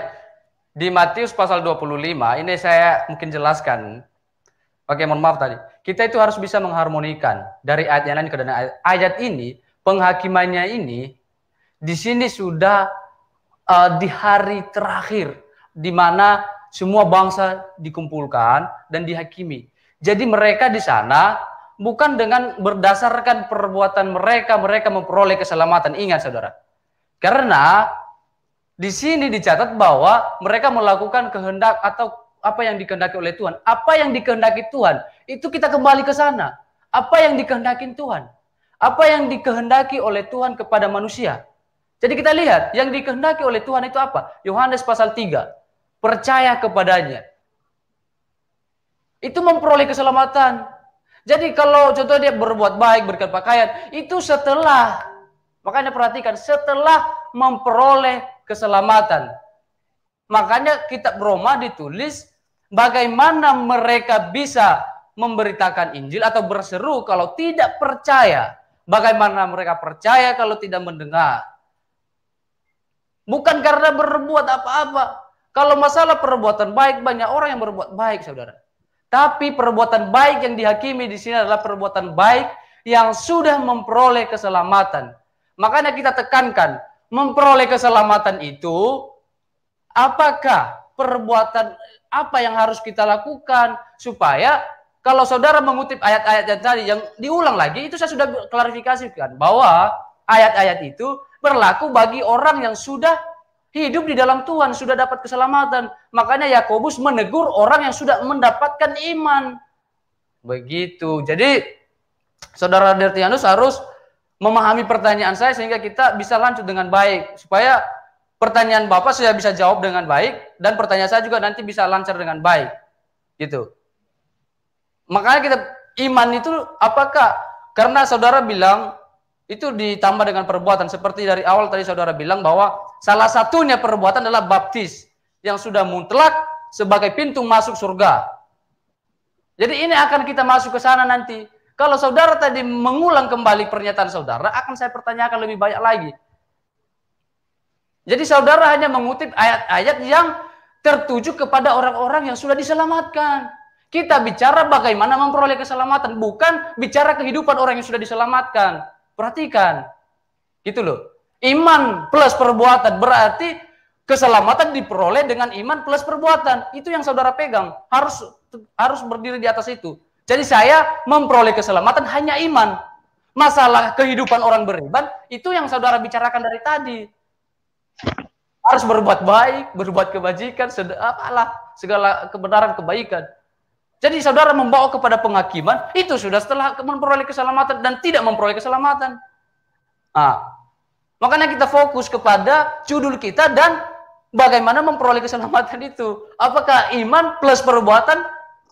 Karena kalau saya ulangi lagi, ayat-ayat yang saudara kutip adalah ayat-ayat yang tertuju kepada orang yang sudah diselamatkan. Itu loh, yang sudah diselamatkan. Jadi kita tolong Pak moderator mungkin kalau bisa mengerti atau memahami sedikit, tolong diperjelas mem cara memperoleh keselamatan itu seperti apa? Dengan okay. perbuatan. Tapi kutip ayatnya mana? Dan bantah Efesus pasal 2 ayat 8 sampai 9, eh, Titus pasal 3 ayat yang kelima, bukan karena perbuatan baikmu kamu diselamatkan. Pak moderator sudah selesai belum? Oke, silakan saudara ya. ya. Oke, justru dari penjelasan saya tadi, saya itu tidak mengkontradiksikan antara Paulus, Yesus, dan Yakobus. Tetapi saudara Dama mencoba mengkontradiksikan apa yang diajarkan Yesus, Paulus, dan Yakobus. Maka saya katakan, tadi dikatakan semua sudah beriman, ya, semua sudah beriman, sudah mendapatkan keselamatan yang saya bicarakan. Nah, di Matius 25 itu semua sudah mendapatkan keselamatan, saudara. Itu di penghakiman semua. Baru ditentukan kambing domba itu setelah di depan depan Yesus dihakimi. Itu sudah memperoleh semua loh. Nah, yang ditanya perbuatan di situ. Lalu saudara menyinggung bagaimana memperoleh keselamatan. Saya sudah jelaskan di awal loh. Ya, keselamatan itu anugerah Allah yang cuma-cuma, tetapi perlu tanggapan manusia. Tanggapan manusia itu adalah iman. Dan satu paket dengan perbuatan. Karena kalau sudah beriman tidak ada isinya, ya kata Paulus kan, aku mengasihi aku mengasihi, tetapi aku tidak berbuat apa-apa itu sama dengan gong yang gemerincing. Kan artinya beriman kosong gitu loh. Nah, tidak mungkin Rasul Paulus itu membuat surat-surat satu sama lain itu tabrakan, gitu loh. Maksud saya jangan tabrakan antara uh, ayat yang satu di surat Rasul Paulus yang mana, lalu di ayat yang lain di mana surat Rasul yang mana, tabrak. Nah, saya melihat upaya tadi itu seperti menabrakan. Nah, tadi kan dikatakan coba uh, cari ayat bantah ayat Filipi tadi ya kalau nggak salah.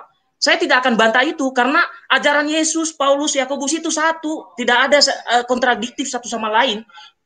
Nah, kontradiktifnya ada ketika hanya ditekankan iman saja karena Yesus mengatakan iman dan perbuatan itu harus ada. Perhatikan kata-kata Yesus juga yang mengatakan, pikuklah kuk yang kupikul dan belajarlah daripadaku karena aku lembat lembut dan rendah hati. Artinya apa? Ikuti Yesus perbuatannya gitu loh. Nah, bukan hanya sekedar baca firman Tuhan ke gereja setiap hari, tapi pikuklah kuk yang kupasang dan belajarlah daripadaku. Karena aku lemah lembut dan rendah hati, berarti kita mengikuti teladan hidup Yesus. Kita melakukan apa yang dilakukan Yesus. Nah, kalau kita tidak melakukan, hanya kita kutip-kutip ayat di khotbah kita, lalu ketika kita pulang ke rumah, kita tonjok istri kita atau teman kita, lah itu kan namanya sudah memperoleh keselamatan, tapi kok masih uh, perbuatan tidak menunjukkan orang diselamatkan. Makanya Yakobus mengatakan, tunjukkan kepadaku imanmu dari perbuatan-perbuatan. Uh, tunjukkan kepadaku imanmu tanpa perbuatan, dan aku akan menunjukkan kepadamu imanku dari perbuatan-perbuatanku. Itu jelas. Terima kasih. Oke, sebelum saya memberikan kepada saudara Dama untuk menanggapinya, saya sedikit uh, memberikan ini ya pencerahan. Begini, saudara-saudara yang saya hormati dari dua narasumber, uh, supaya nanti ke depan agak sedikit di dipertegas antara kedua narasumber ini menurut saya sebenarnya kalau begini tidak ada sebenarnya sebenarnya yang diperdebatkan karena kenapa? Saudara DGA juga menerima kasih karunia bahwa keselamatan itu kasih karunia begitu juga Dedama. Tapi letak letak miscommunication itu di sini uh, saya mau berikan sedikit uh, pencerahan nanti kalau salah ya silakan dikoreksi. Begini, yang dipermasalahkan itu yang mana sih sebenarnya? Orang yang sudah diselam, orang yang sudah menerima Yesus lalu uh, dia kehilangan keselamatan atau orang yang belum sama sekali menerima Yesus lalu itu yang dipermasalahkan. Masalahnya begini, saudara-saudara, itu dua hal itu beda. Ketika kita berbicara keselamatan, itu dua hal itu berbeda. Bagi orang Armenian, bagi orang Armenian, yang bermasalah adalah ketika dia mengatakan bahwa orang yang sudah menerima Yesus hilang keselamatan. Nah, itu itu itu bermasalah di situ. Nah, tetapi yang saya maksudkan di sini coba di di, di, di ini dulu di uh, diperjelas lagi bahwa yang siapa yang di kalian maksud ini orang yang sudah percaya Yesus yang kalian maksudkan tidak diselamatkan itu atau yang belum percaya sama sekali contohnya ya contoh saya ambil contoh uh, contohnya dari agama lain. Nah, itu yang itu yang dimaksudkan uh, yang diselamatkan melalui perbuatan atau melalui kasih karunia, itu yang dimaksudkan.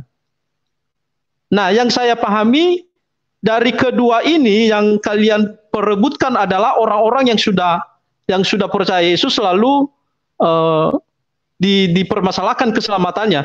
Jelas bahwa orang yang percaya Yesus itu pasti akan menghasilkan buah bagi orang yang tidak menghasilkan buah dipertanyakan keselamatannya. Di situ masalahnya.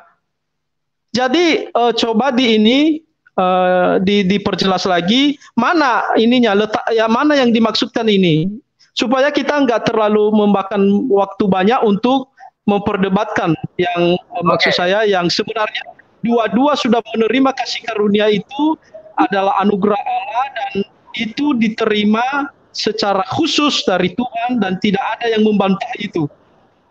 Nah, itu Baik, itu Pak. maksud saya coba dipertegas saja. Oke, silakan. Baik, Pak. Sebenarnya dari tadi saya sudah tegaskan tadi, Pak. Oke. Tadi sebenarnya saya sudah tegaskan, kita itu bicara orang yang belum diselamatkan, bukan orang yang sudah diselamatkan. Karena saya sudah berapa kali, sudah sering saya klarifikasi. Jadi kalau orang yang sudah diselamatkan berbuah, itu saya setuju. Makanya Yakobus, Petrus, atau Paulus dan Yesus sendiri itu nggak ada kontradiktif. Antara satu dengan yang lain nggak ada.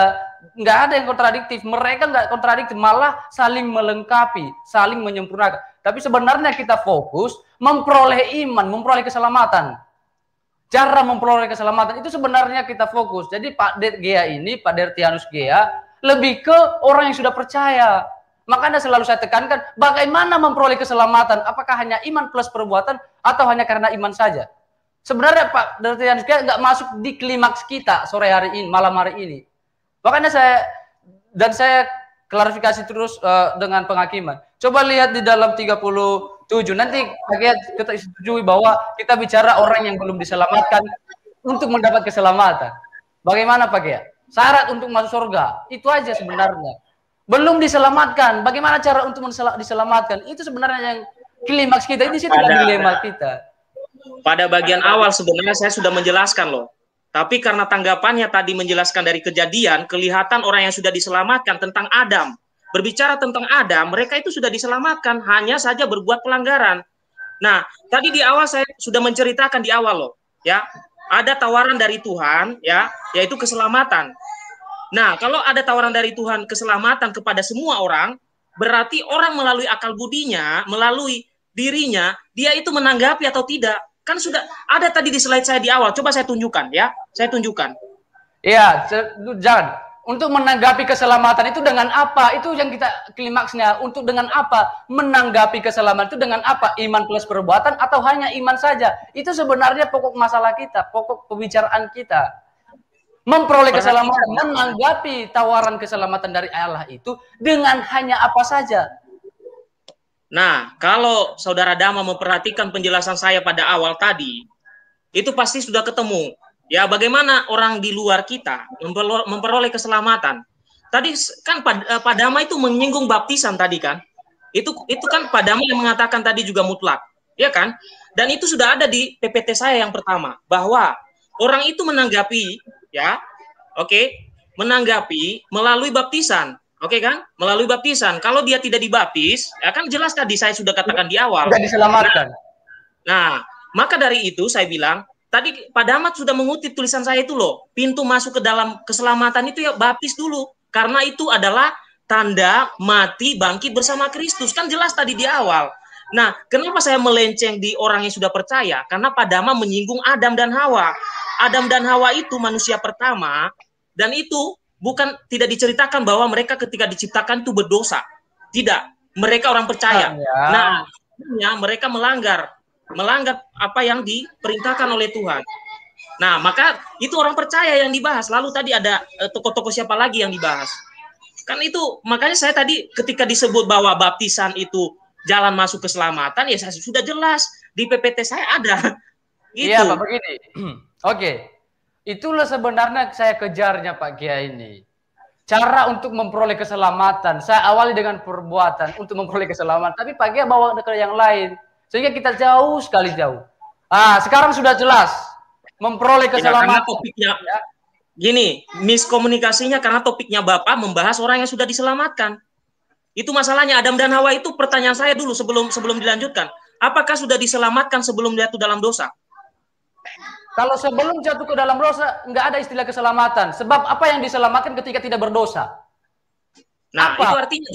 Nah, itu artinya, itu artinya, ah, itu artinya. Nah, itu, ya.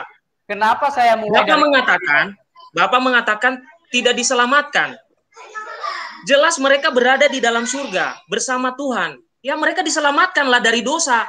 Kan jelas mereka nggak berdosa diselamatkan. Jelas di situ kan Begini, sebelum berdosa itu untuk apa Mike mati? Sebelum berdosa itu apa? Untuk apa diselamatkan? Logikanya begini. Logikanya begini. Diselamatkan nah, itu ya. dari kejatuhan. Jadi makanya saya tarik tadi dispensasionalis, saya tarik tadi garis zaman dari penciptaan, dari kejatuhan manusia dalam dosa. Berarti setelah jatuh dalam dosa, itu harus memperol harus harus dihukum mati itu konsekuensinya. Ya. Jadi setelah mereka ya begini. begini. keselamatan, Pak. Begini, nih saya saya saya tegaskan. Ya, saya tegaskan begini. Ya. Oke. Jadi yang saya maksud begini, ya.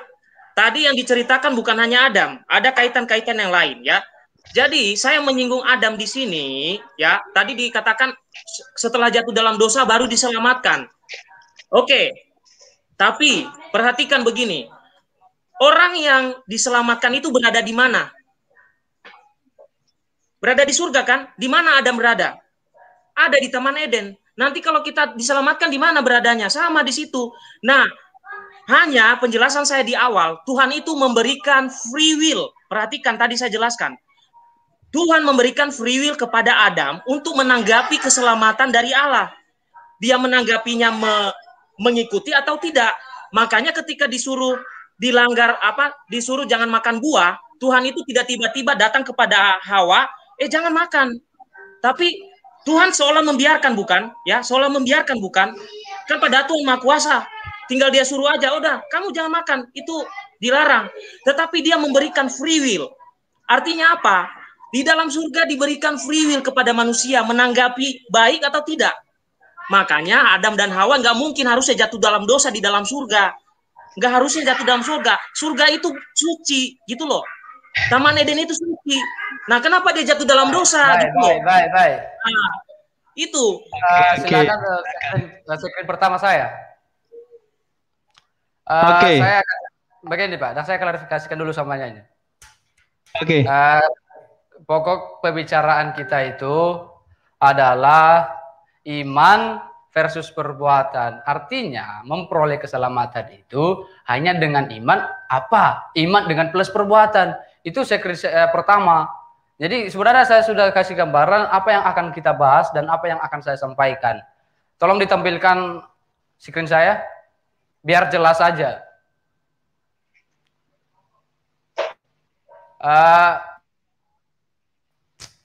Nah ini iman versus perbuatan. Saya kasih pertanyaan di bawah. Apakah untuk memperoleh keselamatan cukup dengan iman saja atau ditambahkan dengan perbuatan? Jadi sebenarnya di sini sudah kita tahu apa yang akan dibahas. Memperoleh keselamatan. Nah coba lihat di uh, screen saya yang ketiga. Screen saya yang ketiga ini menceritakan manusia yang telah jatuh ke dalam dosa. Tapi sebelum itu saya akan ceritakan. Waktu manusia, waktu Tuhan menciptakan manusia, itu dia berikan tiga hal. Posisi yang kudus. Agak cepat, agak cepat. Ah, dia berikan kehendak bebas. Dia dia berikan karakter moral yang diuji sehingga dia berikan perintah di dalam di dalam kejadian pasal 2 ayat 16 sampai 17 dia bilang, Tuhan bilang, "Jangan engkau makan buah pohon pengetahuan yang baik dan yang jahat. Yang lain boleh." Itu perintah. Itu karena apa dia berikan perintah itu supaya menguji kehendak bebasnya manusia. Nah, karena mereka melanggar perintah itu, maka mereka jatuh ke dalam dosa dan konsekuensinya adalah mati. Jadi, semua manusia itu orang berdosa. Jadi klimaks kita cara menyelesaikan dosa. Nah, itu cara menyelesaikan dosa. Jadi Ketika mereka di Taman Eden, Taman Eden itu itu bukan surga yang fisik, tetapi itu di bumi karena Tuhan bilang malaikat yang jatuh yang biasa disebut setan dibuang ke bumi. Cuma kita nggak tahu di mana Taman Eden sekarang. Jadi Taman okay. Eden bukanlah surga karena Taman Eden versinya versinya tetangga kita benar surga mereka. Tapi versinya Kristen itu bukan Taman Eden sama dengan surga secara fisik, tetapi itu adalah bumi. Cuma sekarang kita nggak tahu di mana karena Tuhan sudah hancurkan gara-gara manusia jatuh ke dalam dosa atau Tuhan sembunyikan dan lain sebagainya. Gitu. Oke. Jadi cara menyelesaikan dosa. Saudara Dama, terima kasih. Ya. Uh, semoga saudara ya keluar dah. Kita tunggu aja Pak. Mungkin miskomunikasi. Loh, beliau keluar dah? Tolong ambil jarger dong. Coba di di apa? Di stop slide-nya dong. Screen-nya di di stop aja dulu. Loh, beliau mati ya. Oh iya, masuk. Sudah bisa, sudah bisa. Enggak? Ya. Ya, tadi okay, saya pindah tempat masalahnya, pindah tempat. Ya. Tadi dengar nggak yang saya bilang? Ya, ya. Oke. Okay. Saya tanggapi kan?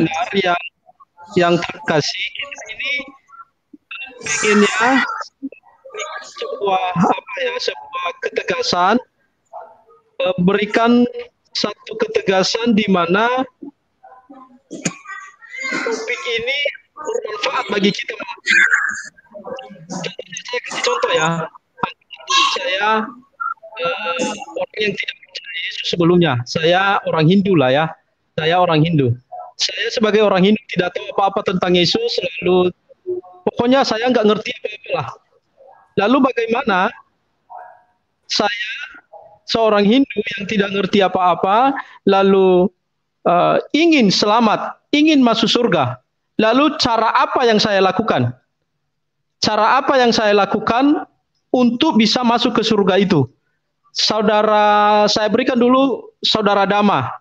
Bagaimana pendapat supaya ini berbobot ininya kita supaya mungkin di sini misnya kepada saudara Dama silahkan. Ya, saya sudah kasih ayat yang banyak di situ di screen saya yang ke 10. Oke. Okay. Bagaimana cara saya Pak Dama untuk bisa mendapatkan keselamatan? Baik, ini. Bagaimana cara mendapatkan keselamatan? Percaya. Yohanes, Roma, barang siapa yang mengaku dengan hati dan percaya akan diselamatkan. 1 Yohanes pasal 5 13, percaya kepada nama anak Allah mendapatkan hidup yang kekal. Diselamatkan karena kasih karunia melalui iman, bukan karena usahamu, bukan karena perbuatanmu atau pekerjaanmu, tetapi karena kasih karunia melalui iman, melalui kepercayaan. Titus pasal 3 ayat 5 tegas, yang menyelamatkan bukan perbuatan baik, Oke, terima kasih untuk Pak Damai. Sekarang saya minta kepada uh, saudara De Gea, bagaimana cara saya untuk bisa masuk surga? Dengan cara apa? Dengan dengan usaha apa atau gimana? Oke, tadi Bapak Oke, dari dari dari saudara itu hanya semata-mata karena Uh, kurang kedengaran Pak. Mohon maaf Pak. Oke oke oke. Kecil sekali Pak. Uh, per, ya pertanyaannya begini, pertanyaannya begini.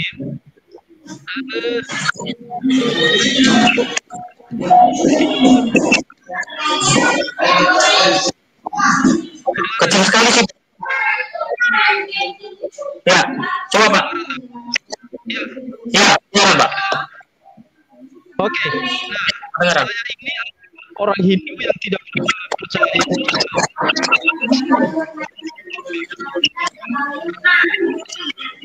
Ah, semakin tidak terdengar, Pak. semakin tidak terdengar Pak. Di situ banyak banyak terdengar di situ. Suara suara Pagia ini berisik. Oke. Suara suara Pak Justinus kecil sekali suaranya. Oh ya. Loh saya sudah kan ini.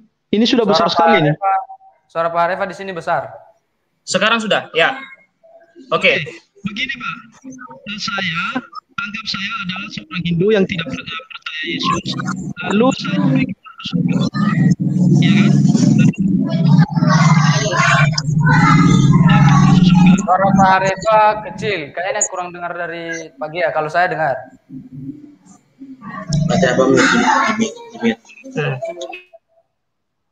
Oke, bagaimana Pak ya? Sudah, sudah. Oke. Nah, bagaimana cara saya untuk bisa masuk surga, Pak? Itu maksud saya. Saya orang yang tidak percaya Yesus sebelumnya, lalu saya pengen masuk surga dengan cara apa, Pak? Saya masuk surga. Itu itu pertanyaannya, Pak, supaya agak sedikit ini ada muatan eh, debat kita hari ini. Oke, silakan. Oh, di, di Amit, sudah Amit itu, Pak. Di mute dulu, Pak. Di di Pagia nonaktifkan sudah mute. Oke, sudah mute. ya. Saya eh, tampilkan dulu Pak, silakan. Eh, karena di awal tadi sudah saya jelaskan, ya. Oke. Dari sini saya sudah jelaskan ya. Jadi uh, keselamatan baik sebelum dan pada waktu dan setelah kedatangan Kristus ya. Kristus menyelamatkan semua orang dan menjadi sumber berkat yang mengalir bagi semua orang. Orang-orang yang hidup baik sebelum kedatangan Kristus, saat Kristus hidup maupun setelah kedatangan Kristus memperoleh berkat, grace ya, untuk menuju surga. Mengapa demikian? Karena manusia secara kodrat mempunyai kemampuan untuk mengenal dan mengasihi Sang Pencipta. Dengan mengandalkan akal budi, manusia dapat mengetahui keberadaan Tuhan. So, jika sampai seorang tidak masuk surga, itu karena kesalahan yang pribadi manusia, bukan kesalahan Tuhan. Nah, berkaitan dengan apa yang uh, Bapak tanya, ya, kalau Bapak misalnya meyakini keyakinan lain, nah, berarti dia harus melalui Yesus. Keselamatan itu harus melalui Yesus. Itu yang harus dikenal, ya. Nah, bagaimana eh, keselamatan itu diperoleh? Tentu saja keselamatan itu kan ditawarkan kepada semua orang, ya kan? Saya katakan tadi, semua eh, Tuhan Yesus itu datang untuk semua semua orang, ya kan? Tapi berapa orang yang menanggapi? Ya kan pertanyaannya begitu. Yang menanggapi ke untuk datang kepadanya berapa orang? Menanggapinya tentu seperti saya jelaskan di uh, ayat selanjutnya. Ini ya. Jadi uh, Tuhan itu sejak semula menghendaki semua masuk surga, tetapi uh, karena manusia mempunyai free will, dia memilih uh, mau menerima tawaran atau tidak itu tidak di tidak di ini sama Tuhan, tidak dijadikan robot manusia ini. Tapi manusia ini diberi kebebasan, makanya tadi saya menyinggung tentang Hawa ya kenapa Hawa tidak ditegur saja kan ada Tuhan di situ masa Tuhan yang maha kuasa tidak melihat Hawa melakukan uh, perbuatan dosa, tinggal tegur aja, hei Hawa jangan makan itu, gitu. Nah, karena diberikan free will untuk menanggapi kasihnya, maka manusia bebas menerimanya, ya, menanggapinya. Contohnya misalnya Bapak tadi dari agama lain. Ya, Tuhan juga tidak pernah memaksa, oh besok kalau kamu tidak mengikuti saya, besok turun hujan batu di rumahmu. Enggak, enggak ada seperti itu. Karena Yesus mengatakan, Tuhan menurunkan hujan dan matahari kepada orang yang baik dan tidak baik. Ya, artinya apa? Tuhan itu datang untuk semua, tetapi tidak semua orang menanggapi. Seperti dalam Injil dikatakan, dia datang kepada kepunyaannya sendiri, tetapi orang-orang kepunyaannya tidak menerima dia. Artinya apa? Dia menebus banyak orang, tetapi orang yang menanggapi penebusan itu hanya sedikit. Ya kita-kita orang ini yang menerima Yesus itu. Itu. Jadi dari agama lain ya perlu menanggapi tawaran itu. Tawaran itu ditanggapi, ya. Keselamatan itu ditanggapi melalui iman. Ya tentu dia beriman dulu kan gak mungkin langsung tiba-tiba oh saya mau ini apa mau mengikuti Yesus tanpa dia mengat, apa melalui pembaptisan atau apa. Kan di kita pasti ada namanya membaptis dulu kan. Nah itu kan salah satu jalan menuju masuk ke dalam uh, yang pertama kan anggota gereja. Yang kedua ya anggota kerajaan Allah tadi itu di dalam uh, perkembangan imannya dalam gereja itu. Demikian Pak. Terima kasih Oke, saya lihat saudara-saudara sebelum saudara Dama nanti dan kita memberikan kesempatan kepada para penonton kita atau para pemirsa kita yang setia menonton kita untuk bertanya atau yang ada di nanti di di, di ruang di ruang diskusi ini juga. Saya lihat di akhir itu, di akhir sebelum tadi baptisan itu, saya lihat bahwa ada kecocokan antara teologinya fundamental dengan saudara Dea ini. Jadi eh, bahwa keselamatan itu ditawarkan kepada semua orang dan kedatangan Yesus itu kepada semua orang dan fundamental sangat sangat setuju dengan itu. Sangat setuju dengan itu bahwa kedatangan Yesus Kristus itu untuk semua orang. Nah, ini sama dengan saudara Dama tadi, tetapi yang di di sini tadi agak sedikit yang paling ujung ujungnya sekali itu ber, berbicara tentang baptisan itu. Nah, yang mungkin statementnya apakah ini memang benar-benar atau bagaimana? Kalau di dalam uh, kalau nggak salah ya, kalau nggak salah nanti dikoreksi. Uh, mungkin juga nanti saudara Dama bisa bertanya karena yeah. baptisan itu adalah satu hanya mempromosikan diri, bukan jalan jalan untuk mendapatkan keselamatan itu itu yang saya tak ya, ketahui. Tapi saya nggak gimana atau ini jadi hanya tadi e, komunikasi aja atau bagaimana. Tetapi saya sampai di sini melihat bahwa saya sangat-sangat bangga kepada teman-teman yang yang mempresentasikan ini. Sangat luar biasa dan sangat menguasai ininya e, materinya. Semoga bisa di ini dikembangkan. Sebelum kita ini uh, lanjutkan mungkin nanti ada ya di dalam ini nanti di, di dijawab ketika ada pertanyaan sekaligus uh, bisa menjawab juga nanti dari kedua belah pihak. Kita berikan kesempatan kepada teman-teman kita yang juga nonton ya, boleh ya? Kita berikan mereka kesempatan untuk bertanya ya. Nanti dulu Pak. Bentar. Eh, mohon Oke, maaf. Silakan kalau gitu kita selesaikan sesi keempatnya. Mohon maaf ya Pak. Di sini kita sudah tahu perbedaan. Ikuti waktu. Saya tidak tidak ini ya. Kita ikuti waktu saja. Oke? Okay? Oke. Okay. Oke, okay, kita masuk di dalam sesi keempat saja. Soalnya nanti sesi keempat itu nanti akan eh, langsung closing statement maksud saya uh, kita berikan dulu kesempatan kepada teman-teman kita yang ini yang masih bertanya. Ya, setuju, setuju.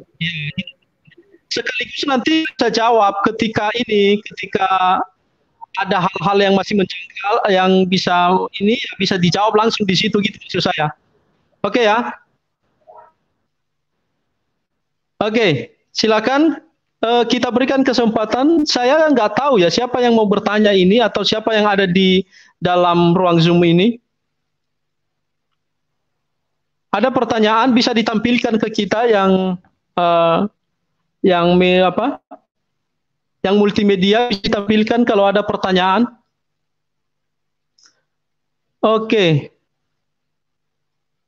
Oke, dari hati yang bertelinga.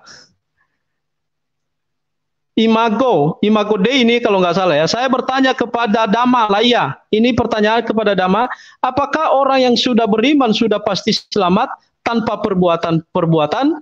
Apakah sudah jaminan orang beriman diselamatkan sedangkan perbuatannya jahat.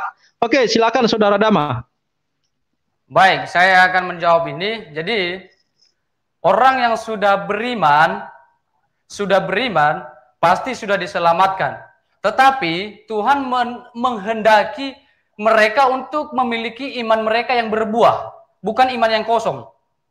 Jadi, Makanya nanti si Rasul Yohanes menuliskan tulisannya di 1 Yohanes pasal 5 ayat 16. Di mana ada orang-orang yang sudah percaya melakukan dua kategori dosa. Pertama adalah dosa yang moral, yang tidak mendatangkan maut. Dan yang kedua adalah dosa yang mendatangkan maut. Jadi ini saya nggak bahas secara perdalam karena ini adalah bukan topik kita. Jadi orang yang sudah diselamatkan, sudah punya iman, pasti diselamatkan. Tetapi harus hidup kudus dan terus berbuat kebaikan. Kalau tidak, berarti berlaku 1 Yohanes pasal 5 ayat 16. Jadi saudara, memperoleh keselamatan, saya kembali tegaskan, hanya dengan percaya kepada Tuhan Yesus. Kalau ditambah dengan baptisan, Matius pasal 3 ayat 11, baptisan adalah hanya tanda pertobatan, bukan jalan keselamatan.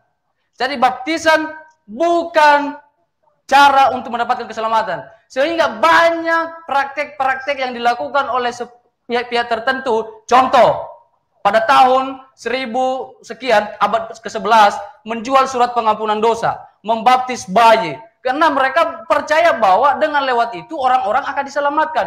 Tetapi Alkitab tidak mencatat demikian. Tapi orang beriman dan percaya kepada Tuhan Yesus pasti masuk surga. Amin. Tapi kalau kau masih hidup di dunia ini, kamu masih lama hidup di dunia ini, kamu jangan hidup mabuk-mabukan, jangan hidup ribut-ributan, jangan hidup kacau, tetapi hidup kudus di hadapan Tuhan.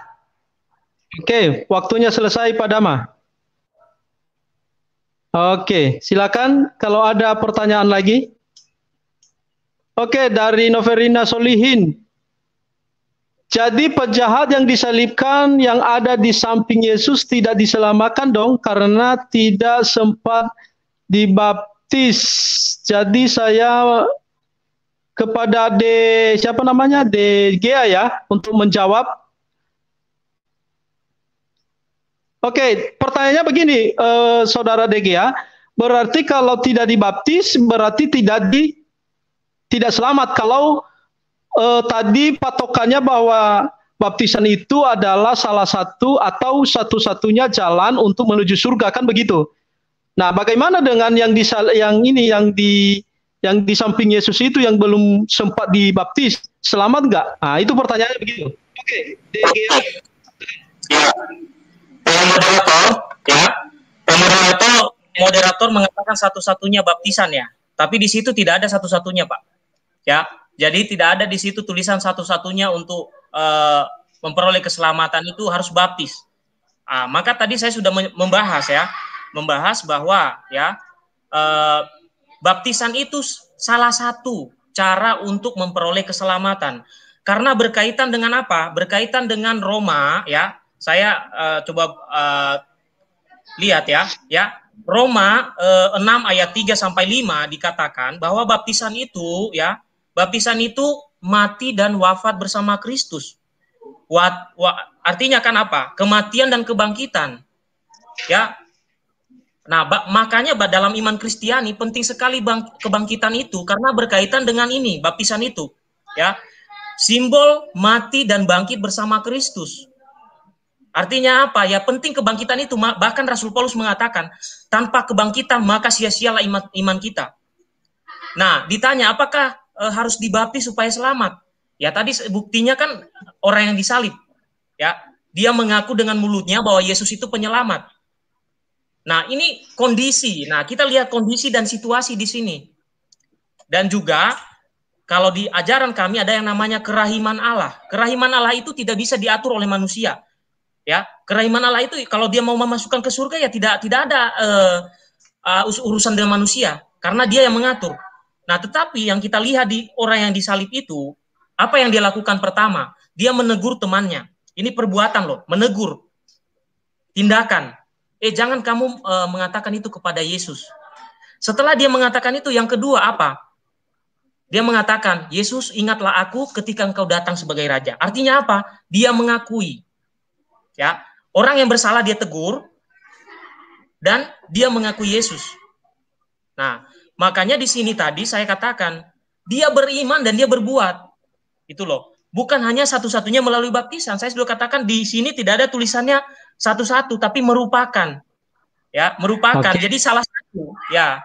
Oke. Okay. Oke. Okay. Gitu. Oke. Okay saya mengerti. Uh, Oke, okay, tadi uh, kalau saya salah menanggapi di situ, uh, sorry. Nah, oke, okay, tapi tetap pertanyaan tadi si Ibu Solihin itu mengatakan bahwa uh, kalau salah satu berarti kalau tidak digenapi yang salah satu itu berarti dia tidak selamat itu itu maksudnya nah, gitu itu itu yang sebenarnya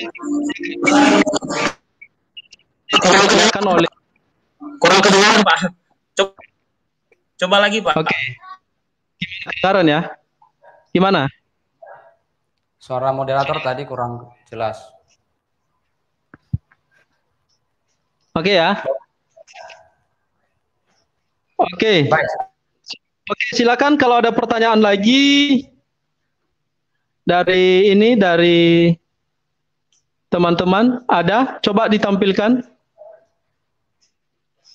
Oke, dari Tobito Maranata mau tanya ke saudara Dama. Satu, untuk orang yang belum selamat, apakah untuk pero, apakah untuk memperoleh selamat apa ini ya?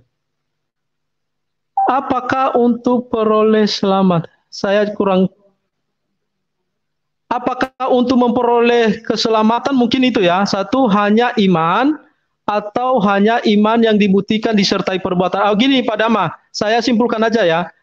E, untuk mendapatkan keselamatan itu hanya iman atau hanya iman yang dibuktikan atau yang disertai perbuatan. Silakan Saudara Dama. Baik, saya akan jawab ini. Iman yang sejati, iman yang murni itu harus disertai dengan perbuatan baik. Ingat, ini adalah Alkitab katakan, Iman yang murni, iman yang sejati mem memiliki buah kebaikan. Jadi ada action. Jadi karena iman ada tiga. Ada uh, untuk untuk memperoleh iman, cara kita untuk di, dilihat orang-orang beriman harus berbuat baik, harus menjadi saksi bagi dunia ini. Itu saya setuju. Jadi kita kembali kepada syarat-syarat keselamatan. Makanya kemarin saya ajak untuk astrologi secara umum karena syarat keselamatan itu apa? Seperti salah satu baptisan. Jadi kalau satu syarat, satu syarat tidak dilakukan maka tidak akan dapat keselamatan. Kalau ada beberapa syarat, contoh baptisan. Kalau tidak dilakukan berarti tidak diselamatkan. Itu konsekuensi logis. Orang yang berlogika itu konsekuensinya. Satu syarat tidak dilakukan maka tidak jadi. Gitu. Termasuk baptisan. Jadi kalau saudara mengambil baptisan sebagai merupakan salah satu syarat untuk diselamatkan, coba jawab sama saya Matius 3 ayat 11 dan Titus pasal 3 ayat 5. Bagaimana mungkin baptisan sebagai salah satu syarat keselamatan? Oke, saya menurut keselamatan bertanya kepada saya atau menjawab yang bertanya. Uh, saya saya okay, harus okay. harus luruskan ini. Uh, Oke, okay, enggak. uh, kita ada waktunya nanti kok. Jawab pertanyaan yang dari Pak Tobito tadi. Ah, gini, jangan sampai makanya saya diberikan penegasan yang dimaksudkan oleh Pak Tobito itu tadi ini selalu kita merali ke apa, e, menuju kepada orang yang belum diselamatkan loh ya. Kita sudah iya. sepakat itu tadi bahwa nah, jadi yang dipertanyakan oleh Pak Tobito ini apakah orang yang belum selamat itu ya kan yang belum selamat itu atau ya orang yang di luar kekristenan itu orang yang belum mengenal Yesus itu itu hanya iman atau disertai perbuatan, Pak. Itu itu sebenarnya uh, yang dimaksudkan. Iman yang disertai Makanya, perbuatan itu hanya Saya udah jawab. Iman itu kalau dibilang iman yang sejati harus memperlihatkan, harus memper, memperlihatkan kalau dia udah orang beriman. Dengan apa? Dengan perbuatan baik. Tapi bukan dengan perbuatan baiknya itu mendapatkan keselamatan. Jadi orang yang memiliki iman yang murni harus memperlihatkan Imannya itu lewat apa? Perbuatan. Gitu loh, saya sudah tegaskan berulang-ulang. Jadi kenapa saya kadang-kadang mengambil sebuah pertanyaan yang lain supaya kita pertanyakan kepada orang yang memegang bahwa baptisan salah satu keselamatan sehingga saya melempar keselam melemparkan pertanyaan. Contoh Efesus pasal 2 ayat 10. Catat-catat semua ayat yang akan saya lontarkan biar bisa jawab. Gitu loh. Saya menjawab orang yang bertanya dengan saya dan saya juga menjawab pertanyaan yang saudara lontarkan. Itu. Iman yang murni harus memiliki perbuatan yang baik. Dia yang bertanya itu eh, Pak Tobito, jadi Pak Tobito tidak uh, ada di ruang ini, makanya kita hanya menjawab saja pertanyaan dari para penanya kita. Oke, ada lagi pertanyaan yang bisa kita tampilkan? Silakan. Oke, dari Tobito lagi. Tanya untuk saudara Gea. Ini Pak Degea nanti ya. Jika orang sudah beriman, namun belum sempat dibaptis ataupun membuktikan imannya dengan perbuatan, karena satu menit kemudian mati kecelakaan, apakah orang itu selamat atau tidak? Silakan Pak Degea. Sudah paham ya pertanyaannya ya? Dibuka dulu Pak, dibuka dulu Pak, dibuka dulu Pak. Pak Degea, ya, dibuka dulu. Ya, Oke, ditampilkan pertanyaannya ya. Tidak apa-apa, saya tidak kelihatan. Oke, jika orang sudah beriman namun belum sempat dibaptis atau membuktikan imannya dengan perbuatan karena satu menit kemudian mati kecelakaan. Pertanyaannya ya, pertanyaannya orang beriman ini ketika selama hidupnya apa yang dia buat? Ya, dia beriman. Berarti kan tadi saya sudah mengatakan iman itu ya selalu bersamaan dengan perbuatan. Oke? Nah, lalu dia beriman ya dia tidak membuktikan di perbuatannya. Uh, saya pikir kalau tidak membuktikan berarti kan perbuatan jahat dong, ya kan? Uh, saya kurang tahu maksudnya di sini membuktikan itu seperti perbuatan jahat atau baik. Harus harus diperjelas sih uh, pertanyaannya. Jadi ketika dia berbuat itu membuktikan itu membuktikan perbuatan jahatnya atau perbuatan baiknya. Tapi saya saya mencoba dua-duanya ya. Uh, mungkin dia buktikan imannya, dia beriman tapi dia buktikan dalam perbuatan jahat ya otomatis seperti yang saya selalu tegaskan tadi, di dalam pengadilan terakhir, penghakiman terakhir, kan jelas tadi yang ditanya apa, ya kan? Nah, kalau dia berbuat baik, kan dia beriman. Dia beriman, lalu dia melakukan perbuatan baik. Lalu dia belum sempat dibaptis. Nah, di dalam gereja Katolik ada macam-macam baptisan Bapak Ibu, ya. Tapi mungkin Bapak Ibu tidak ada dalam ajaran Bapak Ibu. Ada namanya baptisan rindu. Baptisan rindu itu dia ingin dibaptis tetapi belum terlaksana belum terlaksana. Ya tiba-tiba meninggal tadi dia sudah ingin nih, besok saya mau contohnya nih malam ini, besok saya mau dibaptis. Malam ini saya mati. Gitu. Nah, itu disebut sebagai baptis rindu, ya. Nah, itu Apakah diselamatkan? Nah, tadi itu kan sudah beriman. Oke? Sudah beriman, dia sudah ada kerinduan untuk dibaptis, sudah ada kerinduan untuk melakukan uh, tindakan untuk mengikuti Yesus, tetapi di tengah jalan dia meninggal. Nah, pertanyaannya selamat gak? Dalam iman Katolik tidak begitu sekali selamat tetap selamat Bapak Ibu. Tidak ada ajaran seperti itu. Apa sekali beriman tetap selamat? Enggak. Karena begini, di surga itu tidak ada dosa. Oke? Kita yakin tidak ada dosa. Tetapi manusia di dunia pasti berdosa. Bahwa Tuhan telah menebus kita, ya analoginya adalah ada orang menebus utang kita, lalu kita mengutang lagi. Nah, kan nggak mungkin Yesus mati lagi mati lagi untuk menebus kita kan? Menebus satu kali untuk selamanya kata kitab suci. Satu kali untuk selamanya di sini apa? Apakah kita setelah itu ah bebas aja kita berbuat dosa? Tidak, tidak seperti itu. Nah, maka ketika kalau dia ber, uh, dalam kehidupannya dia beriman, tadi saya sudah ceritakan tentang baptis itu, lalu dalam tindakan hidupnya perbuatannya tidak baik, dalam iman kami ada dosa yang diampuni di dunia sekarang ini dan di dunia yang akan datang. Dalam kitab suci ada. Yang menghujat Roh Kudus adalah dosa yang paling tidak bisa diampuni. Karena ada dua dosa yang lain. Dosa uh, yang bisa diampuni di dunia ini dan dosa yang di, bisa diampuni di dunia yang akan datang. Dalam kitab suci Yesus menjelaskan seperti itu. Nah, dalam tafsiran gereja Katolik, dunia yang akan datang itu adalah pengadilan pribadi ya. Jadi orang tadi itu pasti melalui pengadilan pribadi supaya membersihkan dosa-dosanya. Nah, apakah kalau masuk di dunia yang akan datang itu eh, pengadilan pribadi itu nanti tidak selamat? Pasti selamat. Ya, pasti selamat tapi dia melalui pengadilan terakhir ya, pengadilan pribadi di tempat penantian tadi atau eh, apa namanya yang dikatakan dalam gereja Katolik purgatorium ya. Purgatorium itu bukan neraka Bapak Ibu, tapi tempat penantian. Ya, mungkin teman-teman Protestan pasti bisa memahami kalau yang punya iman rasuli, ya, ada tempat penantian dikatakan di situ. Nah, jadi kalau orang tadi berbuat jahat selama hidupnya, berarti dia harus mengikuti proses itu. Tidak langsung dia karena beriman langsung selamat gitu. Atau harus melalui baptisan. Tidak juga karena tadi dia sudah punya kerinduan untuk saya mau dibaptis tapi kok mati malam ini kan eh, itu nggak bisa dipaksakan kalau kematian itu kan. Jadi ada kerinduan untuk menjadi pengikut Yesus melalui baptisan atau melalui hal lain. Ya. Terima kasih. Pak Degi, saya, saya bantu sedikit. Mungkin yang dimaksudkan oleh Pak Tobito itu tadi begini loh. Ketika dia sudah percaya, lalu seketika dia meninggal gitu loh. Nah, apa masuk surga atau tidak? Jawab aja masuk atau tidak itu aja. Dia sudah percaya Yesus lalu mati seketika, masuk surga atau tidak enggak gitu itu itu ya pertanyaannya gampang sekali dibuka pak. Dibuka pak. Dibuka ininya pak. Ya. Uh, mikro pertanyaannya pak harus detail pak. Ya dia percaya itu sudah dibaptis ya sudah dibaptis atau dia masih berencana? Makanya saya uh, katakan tadi kerinduan itu tadi. Ya. Tadi di situ jadi, itu dari pertanyaan itu tadi tari Patonito itu dia sudah percaya sudah dibaptis lalu meninggal. Apakah itu karena nggak sempat melakukan perbuatan baik masuk surga gak itu?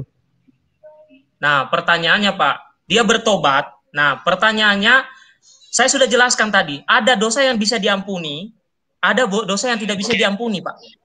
Ya kan? Oke. Okay, nah dosa yang tidak bisa diampuni ya harus melalui pengadilan pribadi meskipun dia sudah percaya.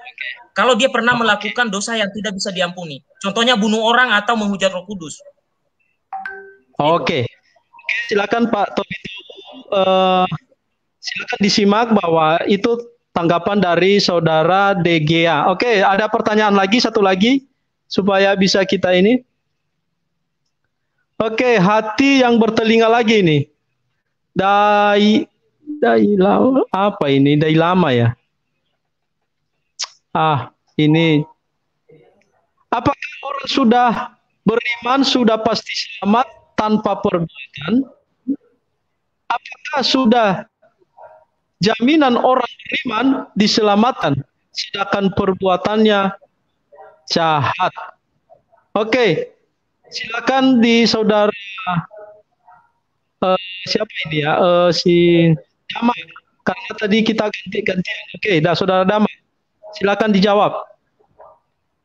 Baik, apakah orang sudah beriman sudah pasti selamat tanpa perbuatan?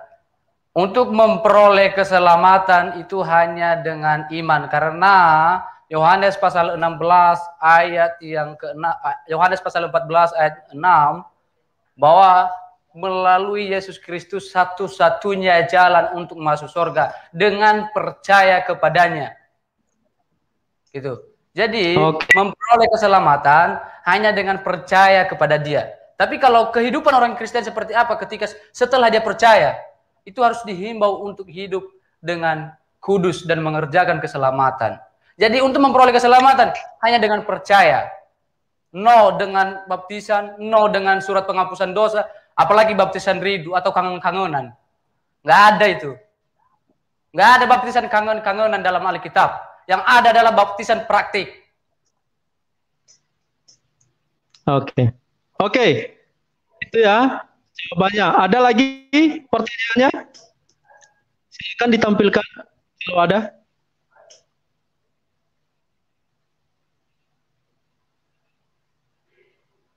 Loh, sudah nggak ada lagi, habis pertanyaan. Ah, ada. Lebih tahu lagi nih, hanya untuk saudara Dama. Hanya hanya untuk saudara Dama, sorry. Jika orang yang sudah beriman atau lahir baru, tapi menunda untuk dibaptis karena kurang yakin apa harus dibaptis ulang karena sebelumnya dibaptis percik bayi, lalu lima tahun kemudian mati kecelakaan, apa selamat? Sudah paham Pak Dama uh, pertanyaannya?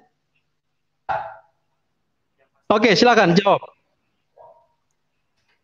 Orang yang beriman dan orang yang mengaku lahir baru, kalau di fundamental, dia diberikan pengajaran stereologi, mustahil menunggu lima tahun, baru memberi diri untuk dibaptis ulang. Mustahil. Tetapi, kalau ini orang menunda-nunda dengan alasan tidak percaya berarti imannya tidak murni. Maka out. Jadi mustahil orang yang saya pernah injilin itu nggak pernah menunggu dua bulan. Saya jelasin step by step. Pasti dia akan terima baptisan bahwa harus dibaptis ulang. Karena baptisan adalah tanda pertobatan. Bukan untuk memperoleh keselamatan. Apalagi baptisan kangen-kangenan. Nggak ada itu. Oke, okay, saya oke. Okay, terima kasih untuk saudara Dama. Mungkin uh, tem, apa saudara Degea bisa memberikan tanggapan dengan pertanyaan tadi, meskipun itu tadi disampaikan kepada uh, saudara Dama, karena saya saya pikir ini penting untuk dijawab supaya tidak ada kesalahpahaman. Oke, okay. saya yang saya tidak suka dengan Pak Dama ini tadi saya sudah katakan itu dalam ajaran Katolik. Saya tidak mengatakan pada Anda harus akui itu baptisan itu, ya jadi ya. jangan ya. singgung yang tidak ada kaitan dengan apa yang kita bahas, ya. Itu namanya mengolok-olok namanya, ya. Oke, hmm. saya lanjutkan. Ya, tadi uh, ditanyakan uh, bagaimana ya uh, tentang keselamatan. Tadi saya tanggapi dulu tentang apa yang dikatakan tentang baptisan ya. Karena Yesus itu memerintahkan tentang baptisan. Jadi kalau dikatakan baptisan itu bukan untuk keselamatan, maka tidak usah membaptis di gerejamu. Ya, karena hanya percaya saja sudah cukup ya. Jadi tidak perlu baptisan. Yesus dalam Matius 28 ayat 19 sampai 20 memerintahkan, baptislah ya, pergilah baptislah dalam nama Bapa dan Putra dan Roh Kudus. Ya, ajarkan ya. Jadi kalau kita membantah uh, amanat agung ini, uh, ini dipertanyakan sebenarnya. Uh, kalau mengatakan baptisan itu hanya untuk pertobatan, apakah Yesus bertobat? Nah, jangan jangan sampai me, me, memutlakan bahwa baptisan itu pertobatan. Apakah Yesus bertobat? Nah, itu itu jadi uh, ber, nyambung nanti ke mana-mana gitu. Nah, saya mau mengatakan bahwa baptisan itu perintah dari Yesus, amanat agung, ya, itu harus dilakukan.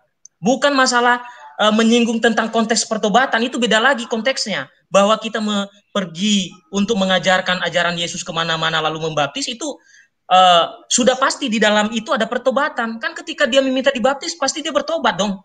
Iya kan?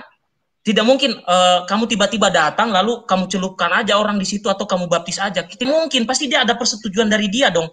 Makanya itu ada pertobatan. Nah, berkaitan dengan bayi misalnya, kenapa baptisan bayi? Nah, ini yang saya katakan tadi, jangan mengolok-olok kalau tidak ada di ajaranmu. Ya, kita harus menghormati. Kalau tidak menghormati saya, ya saya tidak hormati Anda. Itu loh. Nah, dalam iman kami, ya, sejak dalam kandungan ibu, kita itu sudah memperoleh dosa asal. dari Adam. Apa dosa asal dari Adam itu? Keingintahuan, keingin sama dengan Allah, sombong, ya, atau membangkang terhadap Allah. Itu itu dosa yang sudah kita bawa akibatnya sampai sekarang, ya. Nah, itu mengapa baptis bayi itu perlu dilakukan supaya masuk dalam keselamatan, ya, amanat agung Yesus bahwa bukan hanya orang dewasa, tidak pernah Yesus mengatakan juga semua yang dibaptis itu harus orang dewasa saja, ya. Dan konteks tadi yang hanya bertobat saja yang dibaptis ya sudah jelas di amanat agung itu kan dikatakan ajarkan. Kan setelah ajarkan baru bertobat orang kan? Itu. Nah, anak-anak tadi bagaimana? Nanti kan ada pendampingnya orang tua, itu tanggung jawabnya orang tua setelah dewasa diajarkan. Nah, itu juga amanat agung dalam keluarga kita, gitu loh. Nah, tadi terkait pertanyaan, saya tanggapi. Uh, tadi dikatakan bahwa dia sudah dibaptis ya, Pak ya, Pak Julis Julitinus ya. Sudah dibaptis ya. orangnya, lalu Enggak, enggak, bukan, uh, terus bukan. perbuatannya gimana, Pak? Bukan, sudah bertobat, ya kan? Lalu dia menunda hmm. baptisan. Dia menunda baptisannya karena ya. dia dulu baptis uh, percik. Lalu dia uh, harus baptis ulang lagi. Nah, tapi itu pertanyaan kepada Pak Dima sebenarnya itu nggak relevan ke Pak Pak ini karena Pak uh, Pak DGA kan sudah ini sudah saya baptis Jadi dari, penjelasan pagi yang sebelumnya itu sudah pas sebenarnya untuk kantor tadi yang saya maksudkan supaya tidak terjadi fitnah antara uh, Pak Dama dengan Pak DGA. Tapi sudah sudah menjawab, sudah menjawab. Uh, saya juga setuju dengan Pak DGA bahwa uh, memang untuk kita yang umat Kristen ini jangan saling mengolok-olok dan kalau memang itu tidak terjadi atau terdapat di dalam keyakinan kita ya sama ya oke-oke aja uh, kita berikan kebebasan kepada mereka ya cukup kita mengetahui oke okay. Saya juga uh, baptis percik uh, Pak Gea uh, saya percaya itu uh, Pak dan juga saya percaya kepada uh, baptisan percik jadi saya nggak masalah di situ. Jadi jangan tersinggung kalau ada tadi sedikit ini itu di dalam dunia akademik itu kadang-kadang terjadi seperti itu. Oke ya, Pak DGA maklumi ya. Oke. Oke, saya mau klarifikasi Pak dulu. Di dalam Katolik tidak ada baptis percik, Pak. Yang ada baptis tuang. Oke, tidak ada baptis percik. Uh, percik. Oke, okay. okay, baptis bayi ya. Baptis, baptis tuang, bayi, ya. dituang, ya. dituang. Ya, dituang. Oke. Okay. Oke, dituang di kepala, ya. bukan dipercik begini ya. Oke, itu hanya klarifikasi saja. Oke. Okay. Sama dengan kita, Pak. Sama juga di dalam kekristenan itu yang uh, atau juga dituang itu juga ada, Pak. Jadi bukan masalah itu sebenarnya. Jadi uh, tidak apa-apa masalah itu ya. Makanya saya bilang tadi bahwa uh, di dalam kekristenan Protestan itu ada berbagai uh, aliran yang memang berbeda-beda cara untuk uh, dalam liturgi itu sebenarnya tidak perlu terlalu ini tidak terlalu di ini dipermasalahkan sekali. Ya, Oke, okay. silakan kalau ada pertanyaan lagi. Oke, kalau tidak ada kita akan mengakhiri dengan closing statement. Ah, ada. Yarman Bulele. Pertanyaan buat Dama, apakah baptis bayi yang dipakai Katolik untuk keselamatan tertulis dalam Alkitab? Ya pasti Pak Dama enggak ini. Oke, silakan Pak Dama. Nanti saya minta Pak Dekia juga akan menjawab ini, tapi saya berikan dulu sama Pak Dama karena pertanyaannya ke dia.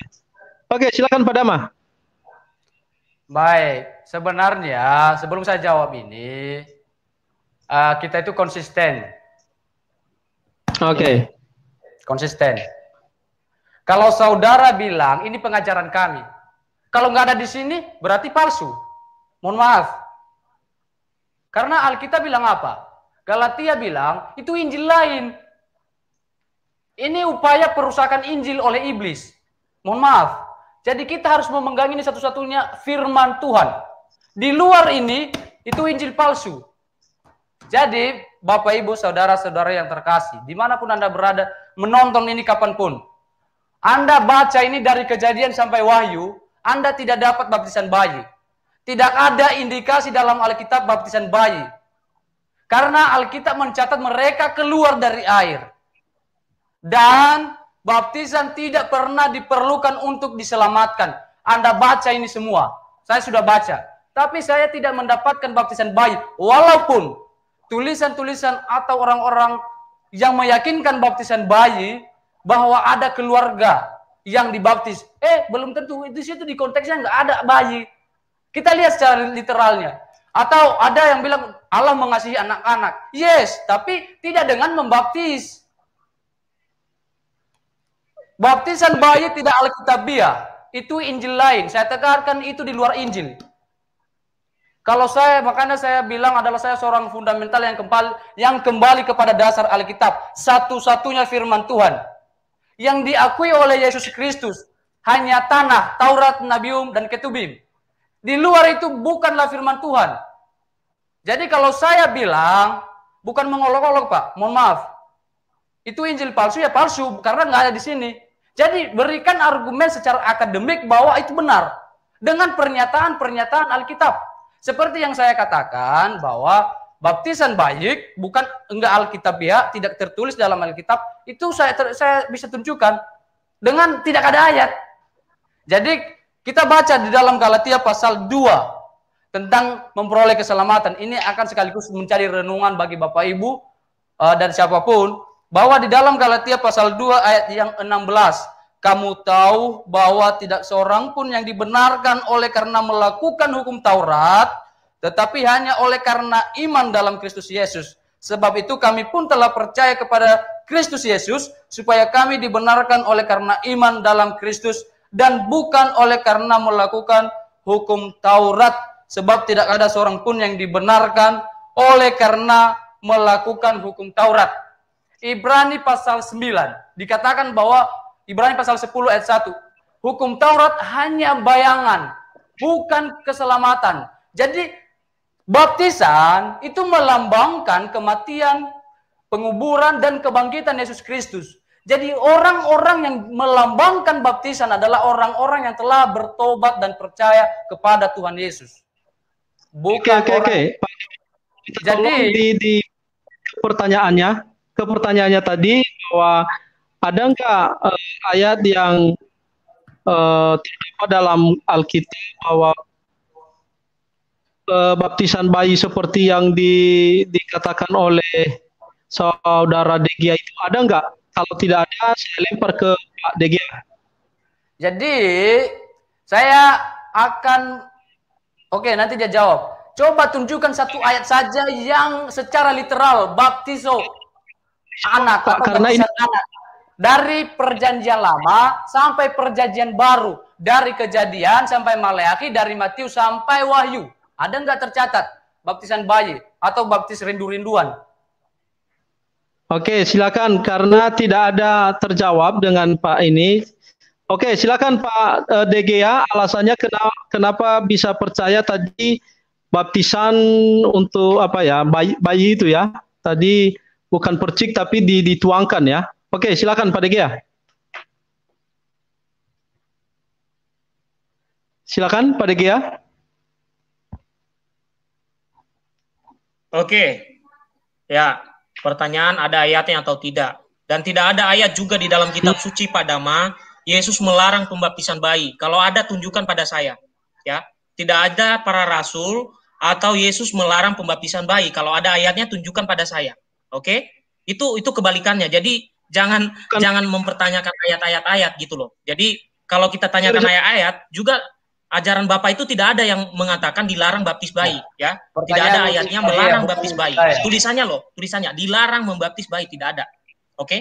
Tunggu. Oke. Okay. Pertanyaan ini. Selanjutnya. Ya. Oke, okay. ya ini jangan dilempar ke Pak Pak ke narasumber karena yang bertanya adalah kita yang berikan kepuasan kepada mereka sesuai dengan pertanyaan mereka tidak ada hubungannya dengan apa narasumber jadi kita minta ada enggak dari Pak Gia ayat yang menekankan bahwa ada baptisan bayi gitu aja. Ada okay, ya oke okay, nggak ada. Bapak, ya Bapak Bapak tampilkan Bapak tampilkan uh, slide saya coba. Oke, okay. oke okay, ya di kisah Rasul diceritakan ya apakah suara saya terdengar Pak? Halo Pak. Ya. Apakah suara saya terdengar? Kedengaran Pak. Oke, soalnya agak ini sinyalnya karena agak malam ini. Oke, dikatakan bahwa janji-janji itu diberikan kepada semua orang, ya. Janji-janji apa di situ? Janji-janji keselamatan diberikan kepada setiap orang sampai semua orang yang dipanggil oleh Kristus. Maka tidak ada pembatasan di situ bahwa yang dibaptis itu hanya dewasa saja, ya. Jadi tidak ada pembapta, pembatasan untuk membaptis siapa pun, termasuk anak-anak karena janji-janji janji keselamatan itu diberikan kepada orang dewasa dan juga kepada orang yang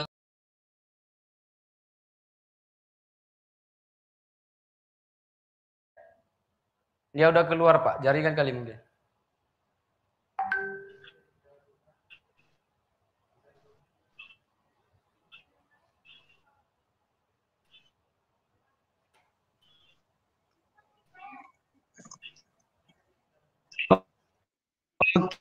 Halo? Oke.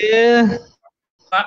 Maaf, maaf. Ya, kami mulai ada terganggu jaringan sedikit. Oke, silakan Pak Dekia.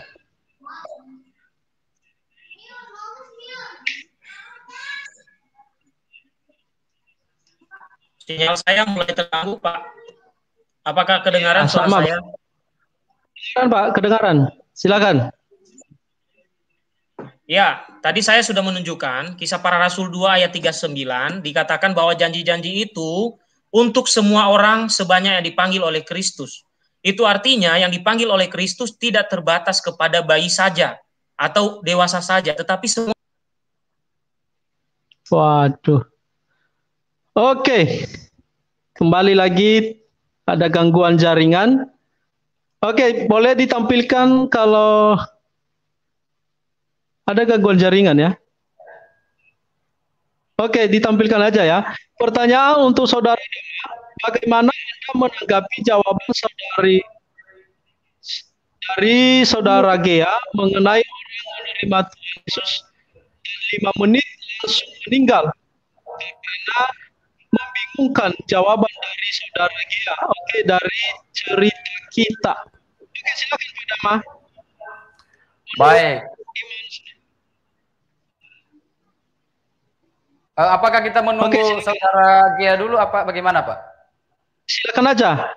Uh, para penonton kita menunggu soal silakan nanti dia nanti yang silakan aja dijawab.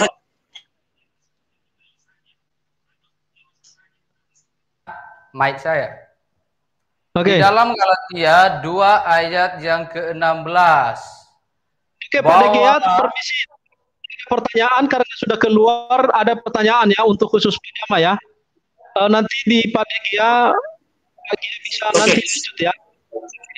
Ya. Oke, pada yang Pak Aris bisa ditampilkan lagi pertanyaannya biar Pak Gia bisa lihat.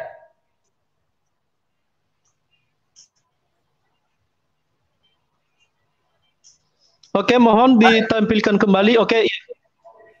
Uh, pertanyaan ini sebenarnya gampang untuk menjawab. Saya bilang orang yang beriman setelah lima menit dia beriman, dia meninggal. Entah apa pun alasannya. Saya katakan bahwa dia diselamatkan. Karena apa?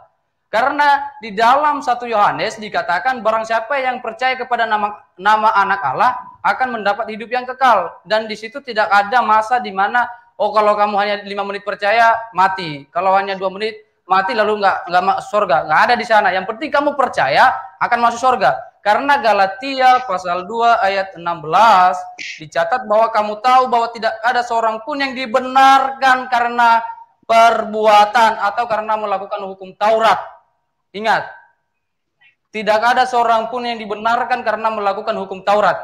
Itu di dalam Galatia pasal 2 ayat 16. Di dalam Titus pasal 3 ayat 5 diselamatkan bukan karena perbuatan. Jadi orang yang percaya lalu lima menit ke depan meninggal masuk surga nggak? Masuk. Ini tegas. Jadi keyakinan iman itu ada harus gitu. Percaya sekarang setelah lima menit meninggal masuk surga, masuk surga. Jadi saya akan sedikit melemparkan sebuah sanggahan. Mohon maaf. Tadi dibilang bahwa tidak ada dalam Alkitab tercatat yang namanya baptisan bayi dan juga tidak disuruh. Ingat, tidak disuruh. Jadi tidak disuruh. Justru kalau berarti kalau tidak disuruh, saya nanya dong berbuat sesuatu. Kan saudara bilang bisa melakukan bukti sekarang tidak disuruh. Ya udah berarti saya buat yang lain. Jadi sedangkan baptisan orang percaya diperintahkan. Jadi demikian. Tadi saya rasa bilang semua orang. Oke, Pak moderator, Oke. mohon bentar.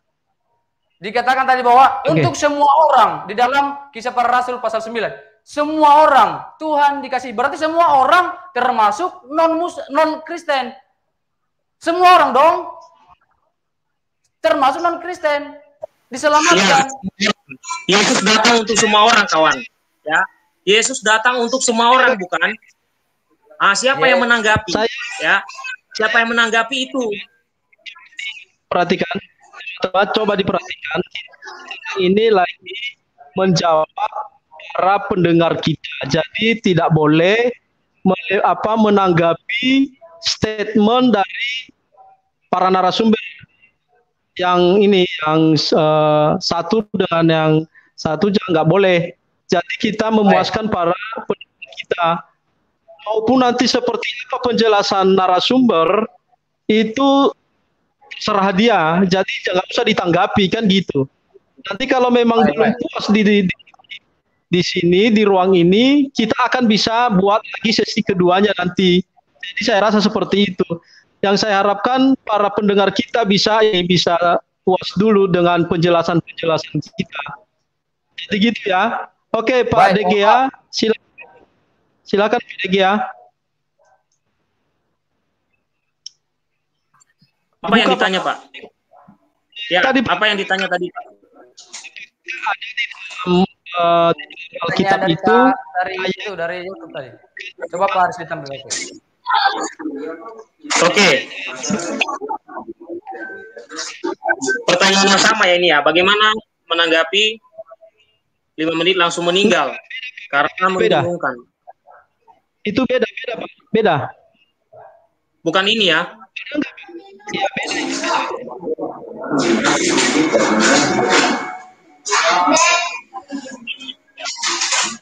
Oke, silakan. Oke.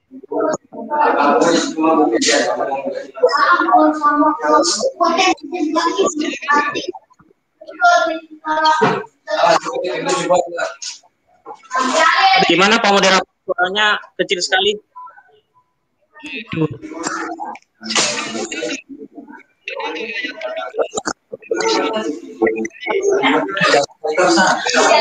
Tidak kedengaran Pak. Sebentar. Kenapa nggak kedengaran nih? Ah, Ayat eh,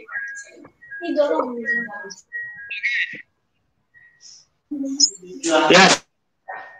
Silakan Pak. Oke. Ada ayat pendukung untuk baptisan bayi. Silakan Pak, di, di, diberikan.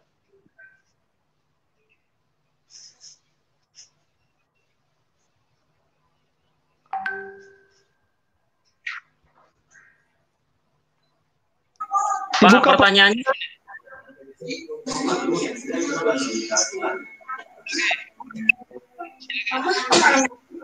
bahasanya ini Bang. Mm-mm, suaranya kecil banget.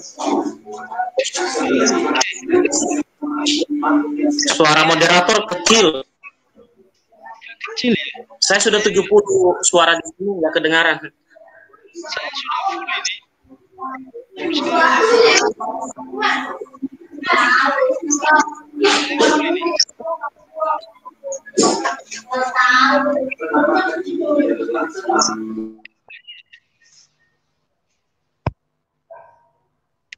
Kedengaran? Suara saya kedengaran ya? Oke. Eh, pertanyaannya simpel saja. Apakah ada referensi baptisan bayi itu saja. Kalau ada silakan, kalau tidak ada kita beralih dengan pertanyaan yang lain. Oke, silakan. Oke, dalam kisah para rasul ya, uh, maka saya tadi sudah katakan tidak ada satupun juga ayat yang mengatakan para rasul itu tidak membaptis bayi ya, tidak ada informasi kita yang memberitahu bahwa mereka tidak membaptis bayi. Kemudian tadi dikatakan oh mereka hanya cerita satu keluarga. Itu pun tidak dicatat loh. Ini nama ayahnya, ini nama ibunya, ini nama anaknya. Artinya, kalau dalam satu keluarga ada bayi tidak diceritakan tidak dibaptis atau dibaptis. Artinya apa? Ya, kalau dibaptis satu keluarga berarti ada indikasi bahwa dibaptis semua, dibaptis semua tanpa ada terkecuali. Kalau ada terkecuali pastinya ada keterangan bayi tidak dibaptis. Begitu. Jadi para rasul datang ke rumah Cornelius, datang ke eh, apa umat-umat yang lain itu membaptis, menyebut kepala keluarga saja, tapi tidak menyebut spesifik satu-satu.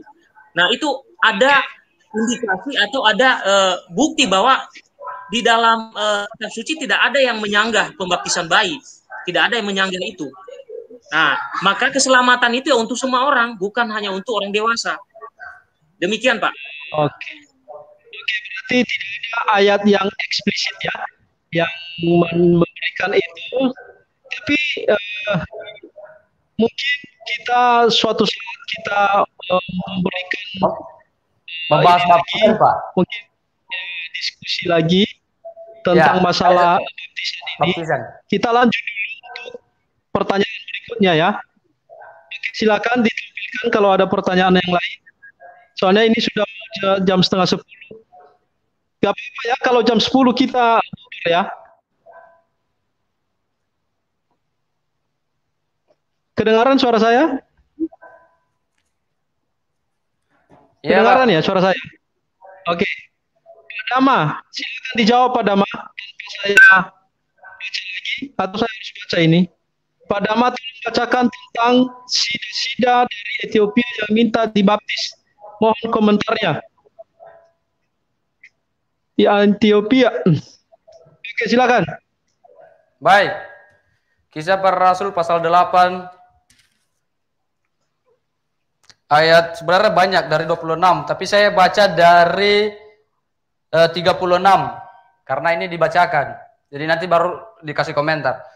Kisah para Rasul pasal 8 ayat 36 sampai nanti saya selesai membaca. Mereka melanjutkan perjalanan mereka dan tiba di suatu tempat yang ada air. Lalu kata sida-sida itu, lihat, di situ ada air. Apakah halangannya jika aku dibaptis? Saud Filipus, jika Tuhan percaya dengan segenap hati, boleh jawabnya. Aku percaya bahwa Yesus Kristus adalah anak Allah. Lalu orang Ethiopia itu menyuruh menghentikan kereta itu dan keduanya turun ke dalam air.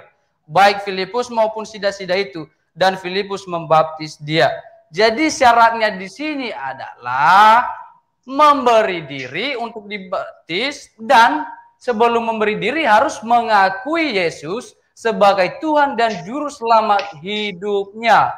Baru dia memberikan dirinya untuk dibaptis. Jadi orang-orang yang percaya tentang bayi atau tentang baptisan bayi, maka bayi tidak bisa memberi dirinya. Dia cuma bisa kuak-kuak aja. Bukan dari dirinya sendiri kalau orang tuanya yang memberikan uh, apa memberikan wewenang kepada siapa yang berhak untuk membaptisnya untuk dicelukan, jadi itu orang lain, bukan dirinya sendiri. Jadi yang ditekankan di sini adalah diri sendiri, memberi diri secara pribadi, personal, bukan orang lain. Karena keselamatan tidak boleh melalui orang lain, tetapi melalui iman kita sendiri. Jadi kita bisa bandingkan di dalam kisah para rasul pasal 3 ayat 19 ayat yang ke-19 yang memberi diri dibaptis adalah orang yang sadar akan dosanya. Lalu kalau kita membaptis, membaptis bayi, bayi yang mana yang sadar akan dosanya? Logisnya, logikanya kita harus jalankan supaya kita menyadarkan bahwa bayi itu tidak bisa menyadarkan kalau dia orang berdosa. Sekalipun nanti okay. dengan pertumbuhannya sebagai dicap sebagai orang berdosa karena kalau dia sudah melakukan perbuatan yang jahat atau yang baik dan sebagainya. Jadi ada beberapa yang akan kita lihat di sana, memberi diri untuk dibaptis, bayi tidak bisa memberi diri. Menyadarkan diri orang berdosa, bayi tidak bisa sadar akan dosanya. Jadi, okay. kalau memberi diri karena pertobatan, bayi tidak bertobat. Jadi, saudara, kalau baptisan bayi dibilang tidak disuruh dan tidak dilarang, jadi berarti Anda mengklaim bisa-bisa saja. Padahal baptisan orang dewasa itu diperintahkan. Jadi kenapa harus melakukan yang kontradiktif dari Alkitab dan tidak melakukan yang dicatat oleh Alkitab? Itulah sebenarnya uh, atau buat saudara Dama yang uh, ini berarti sudah ada gambaran bagi uh, saudara apa Ibu Solihin tadi bahwa uh, keyakinan saudara Dama bahwa baptisan selam itu yang paling benar daripada baptisan bayi. Oke okay ya. Oke, okay, ada pertanyaan yang lain yang bisa kita ini? Ah, ini untuk Pak Gea ya. Oke, okay, tanya untuk Pak Gea. Pak Gea ini ya. ya. Oke, okay, baptisan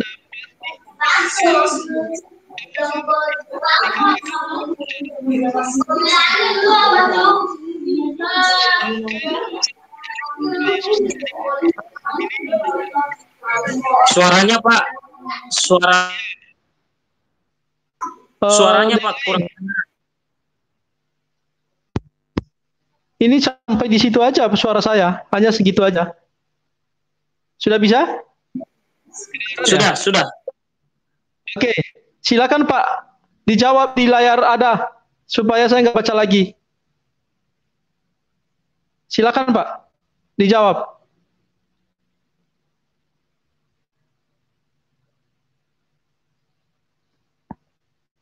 Silakan Pak Gia. Ya, tadi ini sebenarnya sudah dijawab, oke? Okay? Nah, uh, saya menanggapi tentang baptisan bayi ya, uh, sebelum saya masuk ke sini, oke? Okay.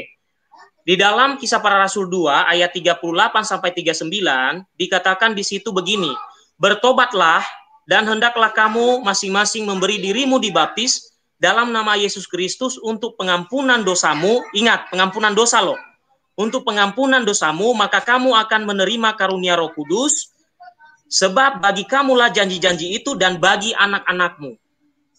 Oke, sudah jelas ya di situ ya. Jadi janji-janji itu bagi anak-anak dan juga bagi orang-orang dewasa ya. Jadi baptis sebagai tanda pengampunan dosa. Ingat, di situ sudah ada tulisannya. Oke. Dalam Kisah Para Rasul 2 38 39. Lalu dikatakan tadi ya, eh, orang yang uh, mati di samping Yesus itu tidak disalib, uh, tidak ini, tidak dibaptis, oke okay ya, tidak dibaptis. Nah, uh, bagaimana itu katanya baptis itu untuk keselamatan? Nah, tadi saya sudah katakan bahwa baptis itu satu, ya, satu sebagai salah satu cara untuk keselamatan. Oke, okay? karena di ayat yang tadi saya baca barusan itu untuk pengampunan dosa. Perhatikan di situ, untuk pengampunan dosamu. Kemudian kenapa orang yang disalibkan itu bisa selamat? Bukankah dalam kitab suci dikatakan juga mengaku dengan mulut? Tadi saya sudah keceritakan ya, mengaku dengan mulutnya bahwa Yesus itu penyelamat. Kemudian yang kedua dia menegur orang yang bersalah. Ini tindakan yang dia lakukan, perbuatan yang dia lakukan, menegur orang di samping. Ketika orang di samping itu salah mengatakan tentang Yesus, dia tegur. Oke, okay? dia tegur. Jangan katakan itu karena kita sama-sama disalib dan orang ini orang benar. Oke, okay? lalu dia bertobat. Tadi orang itu bertobat kan menyadari bahwa kita ini sama-sama orang berdosa. Maka dia berkata pada Yesus, ingatlah aku saat engkau datang sebagai raja. Nah, jadi maka saya saya katakan baptis itu salah satu, bukan satu-satunya. Oke? Okay? Nah, kalau satu-satunya berarti orang itu tadi kontradiktif dong. Bisa sel bisa bisa bersama Yesus di Firdaus. Nah, itu kan eh, saat Yesus datang sebagai raja disuruh ingat gitu. Bahkan Yesus berkata saat ini kamu bersama aku di Firdaus. Nah, kalau itu satu-satunya bukan kedua-dua ini bukan bukan dipertentangkan. Nah, tadi Bapak ini bertanya mempertentangkan bahwa hal ini terjadi dengan orang yang terjadi salib itu ya, oke, okay, itu terjadi memang. Itu tidak bisa disangkal dan tidak bisa ditabrakan dengan nah ini tadi yang mau diusahakan itu ditabrakan dengan uh, seperti ayat kisah para rasul mengatakan berilah dirimu dibaptis sebagai pengampunan dosa. Nah ini tabrak nanti. Itu kontradiktif. Nah saya tidak mencari kontradiktifnya, tapi saya mencari bagaimana supaya dua ayat atau dua pengajaran itu tidak kontradiktif. Demikian Pak. Saya mau tanya dulu dari dua narasumber kita, apakah kita masih tampung pertanyaan pertanyaan-pertanyaan ini? Soalnya saya lihat masih banyak sekali. Ya, saya serahkan kepada kedua narasumber, tergantung bagaimana pendapat kalian.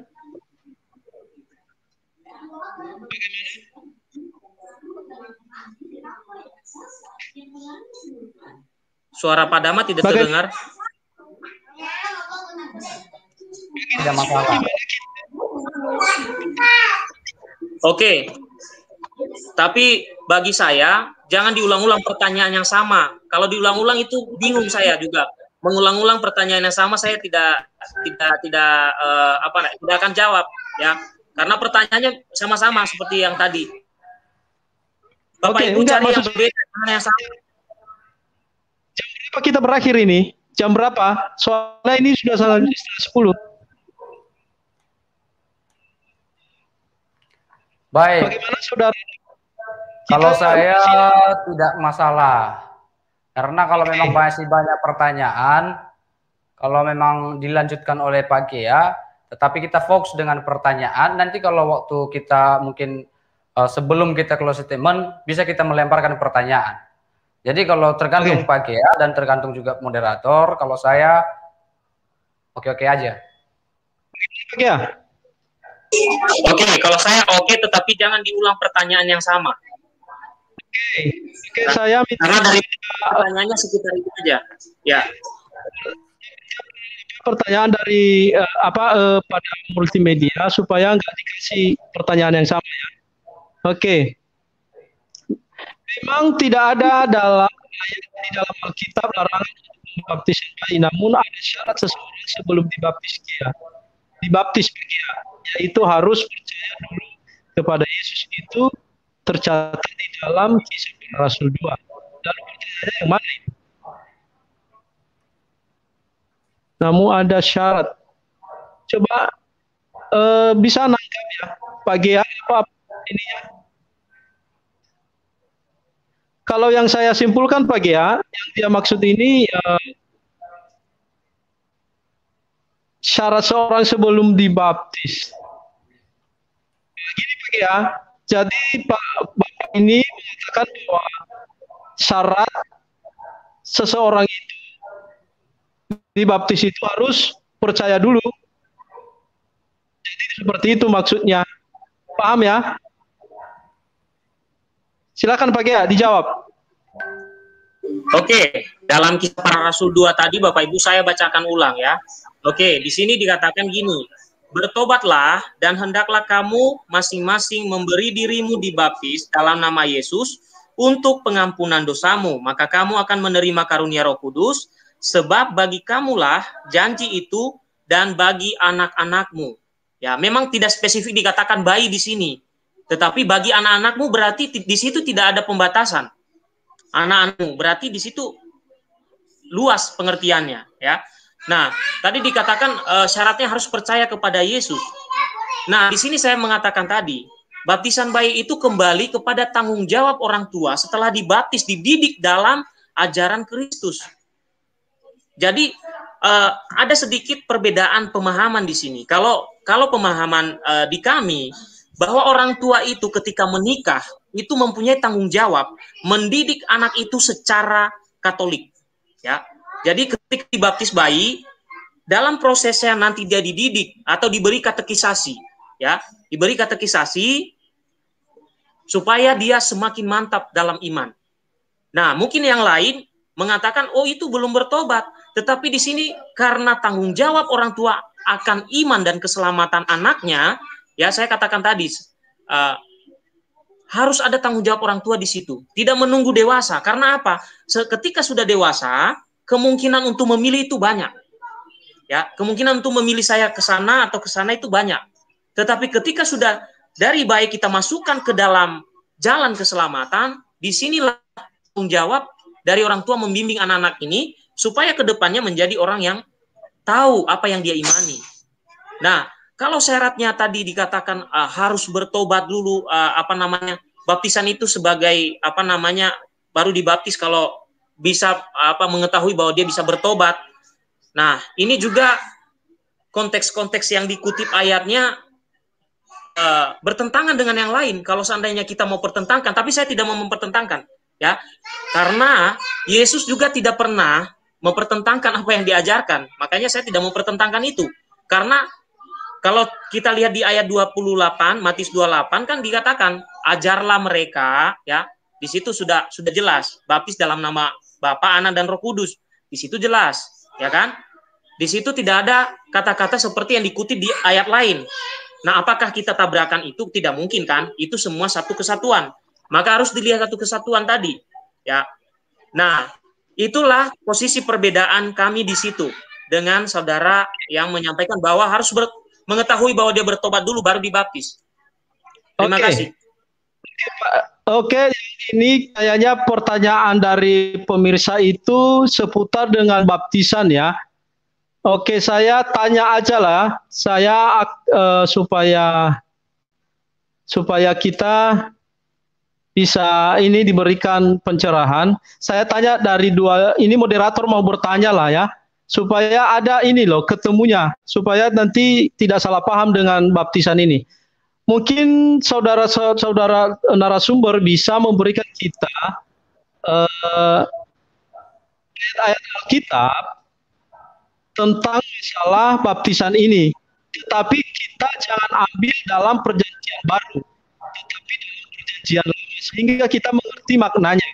Adakah baptisan itu di dalam perjanjian lama dan bagaimana bisa ada baptisan itu sebenarnya tidak ada di dalam uh, tradisi Yahudi yang secara eksplisit, eksplisit ditulis di dalam perjanjian lama bahwa ada baptisan gitu loh, baptisan air seperti yang dilakukan oleh uh, Yohanes Pembaptis itu ya dari mana sejarahnya itu? Nah, seharusnya diambil dari sana, mungkin dari dua narasumber bisa memberikan kita pencerahan kalau gitu. Dari mana konsep itu? Baptisan itu karena baptisan ini agak sedikit seru kayak. Oke. Dari saudara Dama dulu. Dari mana? Uh, gimana konsepnya itu di perjanjian lama? Baik. Kalau masalah baptisan, saya akan meminta uh, Pak Diki ya kita bahas di lain waktu. Kita sebenarnya pokok okay. pembahasan kita itu iman versus perbuatan, memperoleh keselamatan dengan iman atau dengan ini. Jadi kalau saudara itu bawa baptisan sebagai syarat keselamatan, boleh ada waktu lain kok. Kita bahas baptisan yang alkitabiah itu selam atau uh, baptisan bayi itu yang mana? Baptisan alkitab itu yang mana? Kalau memang kalau memang Pak Gea memberikan waktu lain, kita bahas lain waktu. Kita berikan waktu buat uh, yang bertanya sebanyak mungkin seputar baptisan. Oke, uh, terima kasih Pak Damat. Kita akan nanti atur waktu jadwal lagi. Nanti biar ya. Pak Aris yang waktu untuk masalah baptisan ya, supaya ya. Uh, para pendengar kita ini nggak bingung bisa ada ya, baptisan Jadi kita buat sejarah dulu, baru kita akan uh, menentukan mana yang lebih benar mana ini dan supaya kita nggak ngambang untuk ininya menjawabnya. Oke, okay. Uh, ada pertanyaan yang lain? Silakan ditampilkan kalau ada yang berbeda dengan baptisan saja. Jangan kita ganggu baptisan dulu, yang bukan baptisan. Di luar di luar dari di lain waktu nanti kita ketemu tentang baptisan. Di luar aja kita ini, di luar waktu, di luar di luar kesempatan. Oke, untuk saudara Dama, satu bagaimana iman menurut Roma? Sebelas ayat satu ayat eh, Oh, pasal 1 ayat 6. Ayat 1 sampai 6.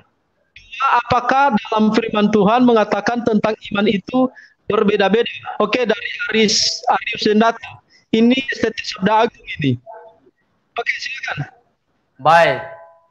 Di dalam Alkitab, kekonsistenan tentang memperoleh keselamatan itu dari perjanjian lama sampai perjanjian baru hingga manusia terakhir itu hanya diperoleh melalui Yesus Kristus karena dia satu-satunya jalan dan kebenaran dengan percaya atau beriman kepada dia.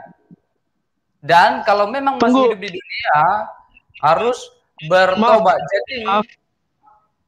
Pada maaf, pertanyaannya seperti apa konsep iman menurut Roma 1 ayat 1 sampai 6?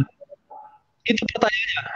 Bagaimana konsep iman menurut Roma 1 ayat 1 sampai 6 itu yang pertama. Yang kedua, apakah pengertian iman itu berbeda-beda atau hanya satu saja seperti yang ada di Ibrani Ibrani uh, 11 ayat 1 gitu. Itu pertanyaannya gitu aja. Ada berapa ada ya. berapa pengertian iman, iman itu? Sebenarnya penegasan saya itu nanti dapat karena apa berbeda-beda. Ah, nah ini yang saya tekankan dari manusia pertama mereka jatuh ke dalam dosa sampai manusia terakhir atau dari perjanjian lama sampai ke perjanjian baru orang itu diselamatkan hanya melalui Yesus Kristus. Tidak ada perbedaan melalui Yesus Kristus dengan iman. Ingat, tidak ada perbedaan. Roma pasal 1 itu dicatat bahwa anak Allah diutus untuk menebus mereka yang sudah melakukan kejahatan, yang sudah berbuat dosa dan percaya kepada Dia dan mereka lah yang akan dibangkitkan oleh Tuhan dari antara orang mati. Jadi iman itu tidak ada perbedaan. Jadi kalau mendapatkan perbedaan, saudara, contoh dalam perjanjian lama cara untuk masuk surga berbeda dengan cara masuk surga di perjanjian baru. Saya katakan itu di luar Alkitab karena tidak konsisten. Jadi harus uh, kekonsistenan Alkitab itu terus kita sampaikan karena kalau Alkitab sempat keluar dari konsistenannya maka itu bukan lagi firman Tuhan. Salah satunya adalah dengan iman. Percaya kepada siapa dan dengan cara apa? Harus konsisten dari pertama hingga akhir. Itu Alkitab itu konsisten. Satu-satunya jalan keselamatan adalah Yesus Kristus. Satu-satunya juga cara untuk mendapatkan keselamatan adalah percaya dan bertobat kepada Yesus Kristus. Jadi, hanyalah percaya dan bertobat kepada Yesus Kristus. Itu kekonsistenan Alkitab, tidak ada perbedaan. Terima kasih. Terima kasih Pak Dama. Oke, itu ya Arius Endate bahwa aspek iman itu menurut Pak Dama itu tidak berbeda-beda. Cuman satu iman berarti iman saja. Oke, yang lain ada Septinus Reva. Pak Gea.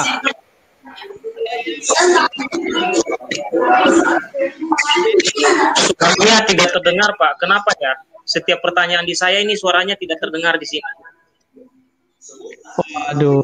Ini sudah ini sudah ini Pak. Sudah bisa Pak? Sudah jelas ini. Sudah ya? Oke. Itu Pak Gia, silakan saya nggak mau tanya apa nggak mau ulang lagi, silakan tanya Pak. Eh, silakan jawab Pak. Sorry, silakan jawab. Supaya nggak memakan waktu.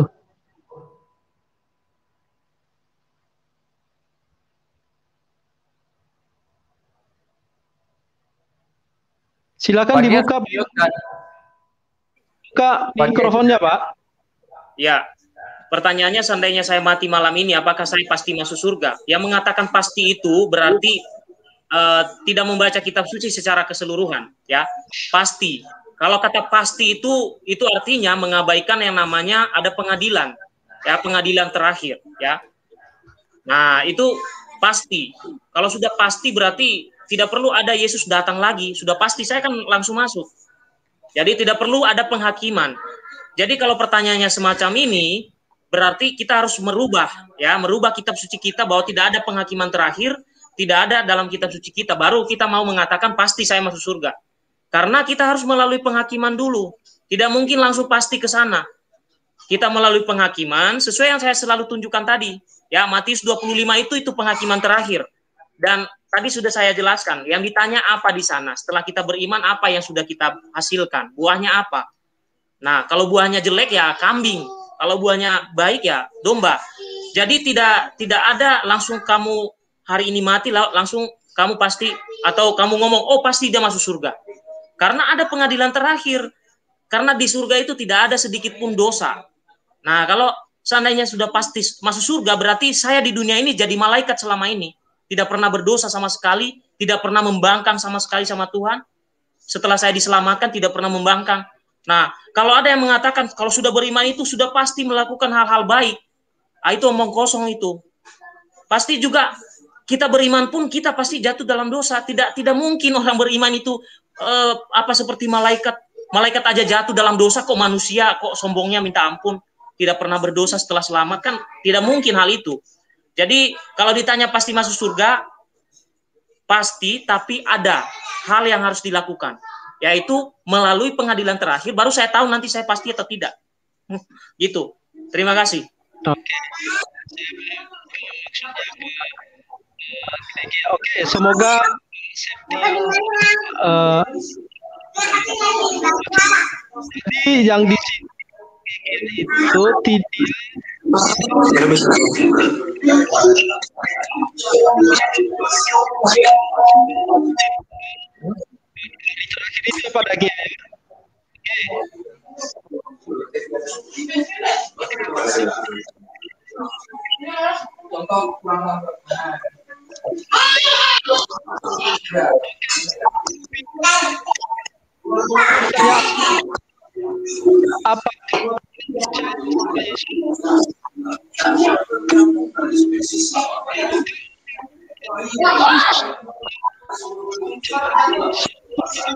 sampai mati apakah dia masuk surga? Silakan. Baik. Ini kayaknya udah dua kali apa tiga kali dipertanyakan. Saudara kalau orang terus berbuat jahat, tetapi mengaku dengan orang beriman, itu cocok dengan teguran yang ditulis oleh Yakobus di dalam kitab Yakobus pasal 2 ayat 14 sampai 26 bahwa iman mereka tidak membuahkan kebaikan, tidak memperlihatkan lewat perbuatan. Jadi perbuatan yang oleh Yakobus adalah perbuatan yang baik tentunya. Jadi kalau mereka melakukan kehidupan yang jahat, berbuat jahat seumur hidup mereka, maka pertanyaan ber, maka iman mereka itu iman yang kosong, iman yang mati.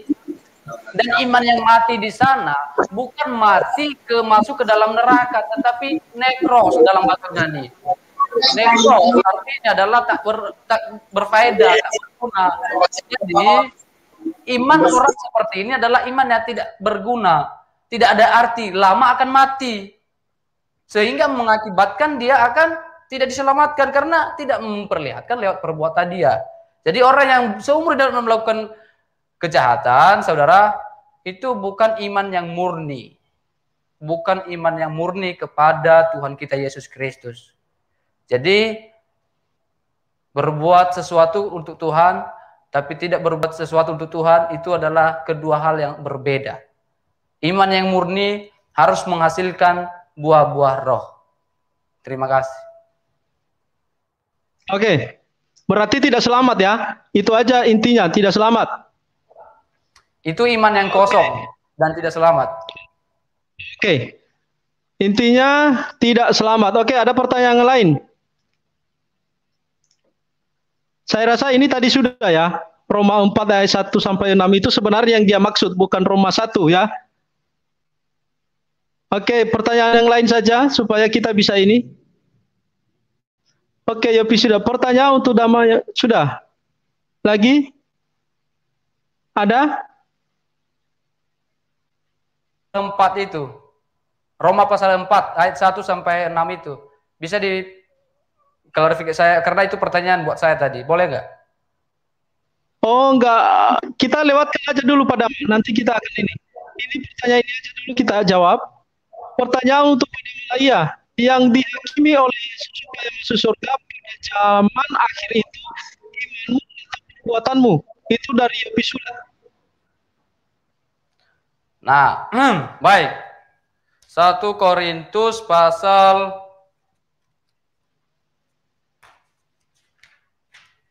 lima ayat sepuluh. Satu Korintus lima ayat sepuluh. Di situ dikatakan bahwa yang aku maksudkan bukanlah dengan semua orang cabul pada umumnya dari dunia ini atau dengan semua orang kikir dan penipu atau dengan semua penyembah berhala karena jika demikian kamu harus meninggalkan dunia ini. Paulus berkata itu tentang sorry sorry 2 Korintus. Wah saya salah baca ini aduh. 2 Korintus. 2 Korintus. Ya, sorry, Pak. Berapa? 2 Korintus 5 ayat 10. Oke. Okay. 2 Korintus 5 ayat 10. Sebab kita semua harus menghadap tahta pengadilan Kristus supaya setiap orang yang memperoleh apa yang patut diterimanya sesuai dengan yang dilakukannya dalam hidupnya ini baik ataupun jahat. Jadi semua orang harus menghadap tata pengadilan Kristus yang biasa kita sebut adalah bema Kristus.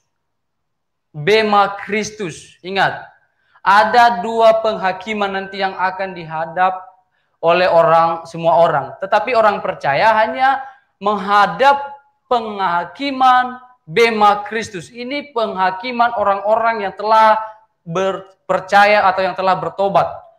Sedangkan penghakiman di dalam Wahyu pasal 20 ayat 11 itu adalah penghukuman tata putih dan itu berlaku untuk semua orang yang tidak ada di dalam Kristus.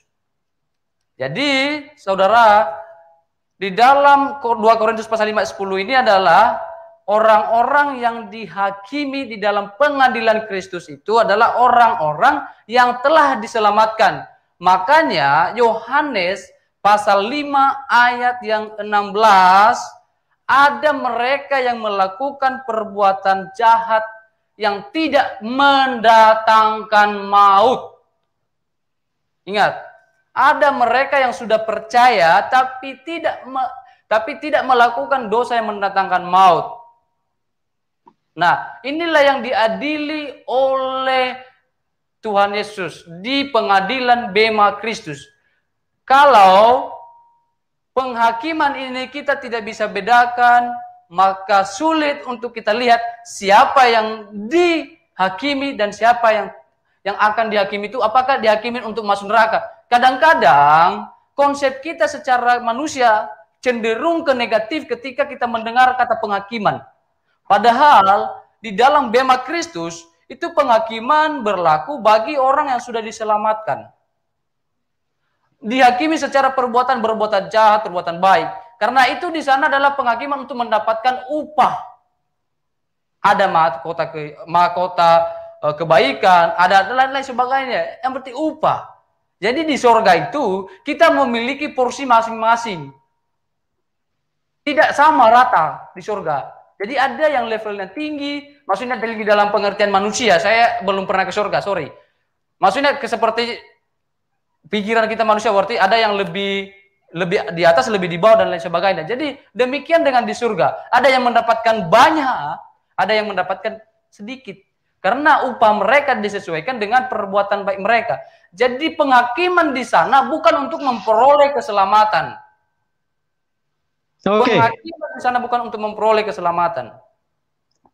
Kita dapat uh, intinya bahwa Pak Nama ini membedakan antara pengadilan untuk percaya, pengadilan di Bima dan hakiman untuk orang yang tidak percaya. Kalau pengadilan itu untuk orang percaya yang sudah ada di dalam Yesus, sedangkan penghakiman orang-orang yang tidak percaya kepada Yesus itu harus dibedakan ya. Jadi gitu. Tapi ini sangat menarik kalau dijawab oleh Pak Degia karena kenapa? Apakah konsep semacam itu juga ada di dalam iman Katolik? Istilahnya pengadilan atau bema Kristus untuk mendapatkan mahkota atau penghakiman itu juga dilakukan untuk orang percaya dan orang yang tidak percaya. Coba Pak Dema, Pak Gia, Pak Gia bisa memberikan pencerahan kepada kita. Oke, ya tadi sebenarnya saya sudah jawab itu Pak. Makanya saya katakan saya tidak mau berulang-ulang. Ya, tadi ada pengadilan pribadi, Pak. Saya sudah cerita dalam iman kami ada pengadilan pribadi, ada pengadilan umum, yaitu di Matius 25. Jadi saya pikir tadi sudah saya ulang itu, sudah berkali-kali. Ya, oke. Oke. Berarti sama ya, berarti ya ada istilahnya pengadilan pribadi dan pengadilan umum. Oke, silakan pertanyaan yang lain.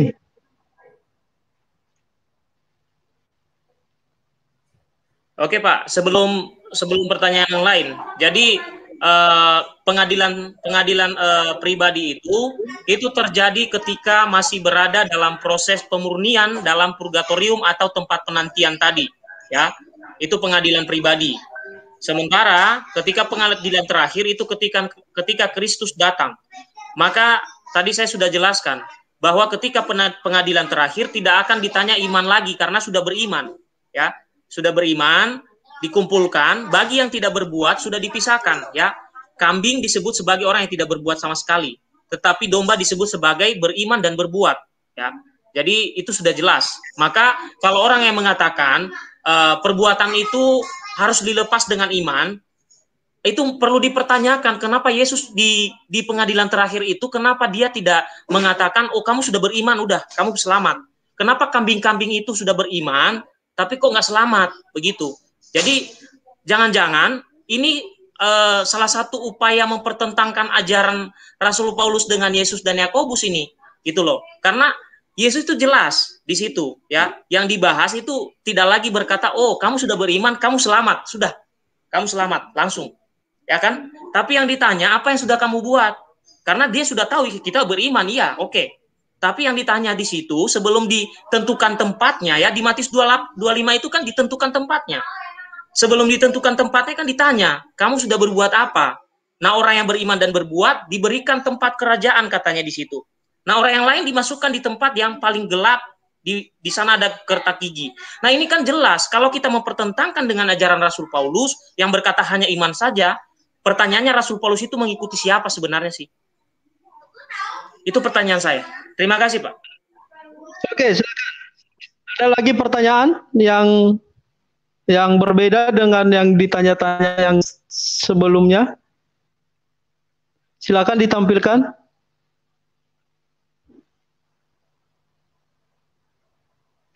Oke, Yopi Surat. Damala iya.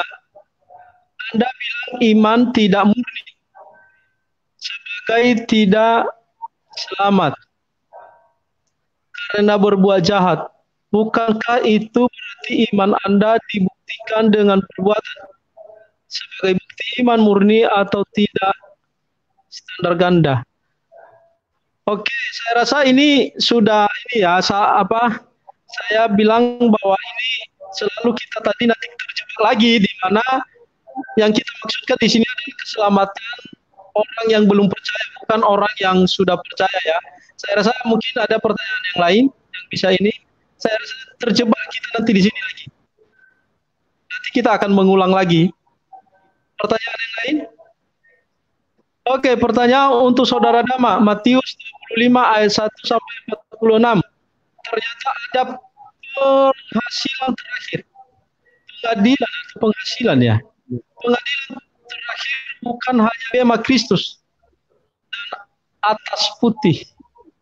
Saya juga kurang pahami. Maksudnya ya. Ternyata ada pengadilan terakhir, bukan hanya bema Kristus. Nah, silakan Pak ada saya masih belum nangkap pertanyaannya ini. Mungkin begini Pak, uh, ternyata ada penghasilan terakhir. Yang dimaksud pengadilan itu, Pak. Pengadilan terakhir.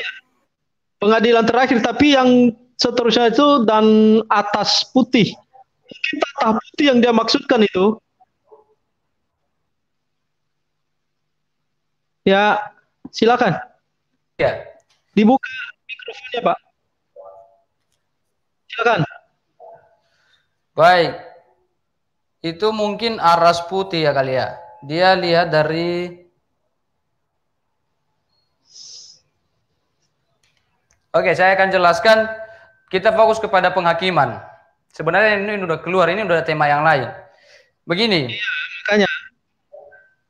Pertanyaannya itu, itu kita harus melihat bagaimana ini orang-orang ini melakukan perbuatan yang baik. Apakah perbuatan baik mereka mereka lakukan demi untuk mendapatkan keselamatan atau bukan? Itu sebenarnya pusatnya pertanyaan yang harus dilontarkan dan materi yang akan kita sampaikan. Makanya kalau kita lihat di dalam ayat dari Matius yang selalu dikutip oleh saudara De Gea dari pasal 25 ayat yang ke-37. Maka orang-orang benar itu kata kuncinya apa? Benar dulu baru berbuat baik. Sinkron nggak? Sinkron nggak? Apa yang dikatakan, apa yang diajarkan oleh Paulus di dalam Roma pasal 4 ayat yang ketiga. Sinkron, kenapa? Abraham percaya dan itu dihitungkan kepadanya kebenaran. Kalau dia sudah benar, maka dia adalah orang-orang benar. Barulah nanti dia melakukan segala bentuk kebaikan. Jadi sebenarnya di dalam penghakiman ini bukan penghakiman perbuatan untuk mendapat keselamatan, tetapi orang-orang benar, orang benar dulu baru penghakiman perbuatan orang benar inilah yang dihakimi. Jadi bukan untuk masuk neraka masuk surga, enggak. Orang yang kambing yang disebut di sini bukan orang benar. Ingat, ada kata kuncinya di ayat 37. Dan ada kata kuncinya juga di ayat yang selanjutnya dia bilang orang jahat sebab dikatakan orang jahat di hadapan Tuhan. Jadi sama-sama memiliki indikasi. Orang yang melakukan kebaikan yang Tuhan maksud adalah orang yang sudah benar dulu. Jadi perbuatan mereka harus dihukum atau dihakimi setimpa dengan apa yang mereka miliki, upah mereka yang akan miliki, gitu. Jadi benar dulu baru melakukan perbuatan baik. Sedangkan Indikasi yang tidak diselamatkan di dalam penghakiman ini dalam pasal 25 adalah orang yang jahat, bukan orang benar. Kalau saudara menafsirkannya adalah orang yang sama itu sangat fatal karena tidak melihat konteksnya secara keseluruhan dan secara lengkap. Coba dibaca, diperhatikan. Orang jahat tidak melakukan kehendak Tuhan, orang benar melakukan kehendak Tuhan. Ya itu bagus, badan itu yang dihimbau kepada kita sebagai orang-orang percaya, orang-orang Kristen oleh penulis-penulis Alkitab. Jadi Roma pasal 4 ayat 3 lalu Abraham percaya dan dihitungkan itu sebagai kebenaran. Coba lihat dah di seluruh Alkitab ada nggak orang yang dibenarkan karena perbuatan? Tidak ada. Jadi baru orang itu dibenarkan dengan perbuatan itu setelah mendapatkan keselamatan setelah dibenarkan oleh Tuhan karena dia percaya. Jadi ini sistem keselamatan yang alkitabiahnya. Sehingga kalau dia mengaku punya iman, harusnya melakukan kebenaran. Itulah konsekuensi yang memiliki iman. Itulah ujung-ujungnya. Jadi, okay. kalau dalam penghakiman dikatakan orang benar ini adalah orang benar di sini adalah sama dan hanya saja ada yang melakukan kejahatan dan ada yang melakukan uh, kebaikan, maka orang yang melakukan kejahatan karena perbuatannya dibawa ke neraka, karena melakukan kebaikan dibawa ke surga karena perbuatannya maka dia masuk surga. Itu sangat tidak logis dan tidak ada di dalam Alkitab. Dan satu hal lagi saya tekankan, dalam Alkitab tidak ada purgatori atau penghakiman dia atau pemurnian di api adalah sebagainya barulah diselamatkan nanti. Makanya di luar fundamental tidak ada kepastian masuk surga karena mereka tidak yakin. Tapi kalau fundamental mengatakan, saya percaya sekarang pun saya mati, saya masuk surga. Enggak perlu, kalau apa yang dihakimi? Perbuatan saya. Baik jahatnya perbuatan saya memang tetap dihakimi. Tapi bukan itu yang menjadikan saya masuk neraka atau masuk surga. Tapi itulah yang akan okay. uh, eh, merujuk kepada sana ke upah kita sebagai orang percaya. Oke, ada ada peringatan atau uh, warning warning dari Pak siapa? Pak Aris bahwa kita mungkin sudah sampai pada waktunya. Dan kita sangat berterima kasih buat para narasumber kita yang sudah memberikan kita wawasan tentang bagaimana doktrin kekristenan, saya berharap bahwa setelah uh, diskusi ini tidak perlu dibawa di luar. Kalau nanti saudara-saudara pengen berdiskusi lagi, silakan diatur waktunya. Jadi tidak perlu untuk saling menyalahkan karena kita saling mencari kebenaran, bukan untuk uh, mempersulit diri untuk memahami kebenaran. Oke, okay. uh, eh, kita masuk pada uh, closing statement. Saya berikan kesempatan kepada saudara kita dari Katolik untuk memberikan closing statementnya selama lima menit. Silakan. Oke, suara saya terdengar Pak? Ya. Uh, jadi uh, di awal tadi saya sudah mengatakan bahwa uh, sekalipun topik kita ini tadi dikaitkan dengan iman versus perbuatan, dan dalam iman kami tidak ada namanya iman versus perbuatan karena iman dan perbuatan itu harus harus sejalan ya dan untuk orang yang di luar ya yang belum percaya kepada Yesus harus melalui Yesus melalui baptisan. Tetapi konteks yang terjadi di Alkitab dengan orang yang disalib tadi itu konteksnya berbeda ya. Nah bahwa orang yang percaya harus melalui Yesus dan salah satunya adalah harus melalui pembaptisan untuk masuk ke dalam golongan orang-orang yang diselamatkan. Nah, kemudian saya selalu menegaskan tadi bahwa dalam kitab suci itu tidak ada kontradiksi antara Rasul Paulus, Yakobus, Yesus. Nah, selalu dikatakan sesuai dengan topik iman versus perbuatan. Saya mengatakan begini, kalau dikatakan bahwa hanya iman saja, ini sangat bertentangan dengan apa yang diajarkan oleh Yesus. Bahkan dalam kitab suci, Yesus itu mengajarkan para muridnya menderita demi iman. Ya, kalau dia hanya beriman saja, diam saja ya tidak perlu uh, untuk berbuat sesuatu karena dia sudah pasti selamat. Bahkan tadi saya sudah singgung ya, uh, pikuklah uh, pikulah kuk yang ku pasang dan belajarlah daripadaku karena aku lemah lembut dan murah hati. Maka kalau Yesus memberi teladan, teladan kemurah hati kepada kita, berarti kita harus meneladani dong. Dan Yesus juga mengatakan, hendaklah kamu sempurna sama seperti Bapa dan aku adalah sempurna. Dan di ayat lain dikatakan, bukan orang yang berseru kepadaku Tuhan, Tuhan yang akan diselamatkan, tetapi orang yang melaksanakan kehendak Bapakku. Artinya apa? Jangan hanya berseru-seru saja. Itu artinya jangan hanya beriman saja bahwa kamu meyakini Tuhan itu ada, tetapi perbuat sesuatu, ya. Maka saya selalu katakan tadi, tidak ada kontradiksi antara Rasul Paulus, Rasul Yakobus, Rasul uh, Yesus. Kalau ada kontradiksi, berarti perlu dikoreksi apa yang kontradiksi di situ. Karena kalau ada kata iman saja cukup, atau iman saja sudah pasti selamat, atau percaya saja pasti selamat, perlu dipertanyakan. Karena apa? Kalau saya percaya, berarti saya pasti selamat. Berarti tidak ada pengadilan. Kan langsung masuk surga. Tidak perlu ada pengadilan, tidak perlu Yesus datang dengan para malaikatnya di awan-awan untuk menjemput kita. Tidak perlu. Tidak perlu ada kebangkitan badan karena setelah mati langsung masuk surga. Ya kan? Langsung masuk surga. Tidak perlu ada kebangkitan badan kehidupan kekal karena orang mati langsung masuk surga, selamat. Itu ya. Nah, maka saya katakan tadi Yesus dalam setiap apa yang diajarkan terkait penghakiman atau pengadilan terakhir, di situ dia selalu menekankan apa?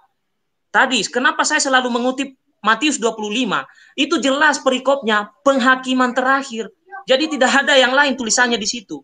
Ya. Oke, jadi di situ yang ditanyakan adalah bukan hanya iman, tetapi perbuatan. Kalau dikatakan tadi oh dia benar dulu gitu ya. Itu semuanya semua bangsa kumpul di situ berarti beriman dong. Berarti orang beriman itu bisa salah, bisa jadi kambing.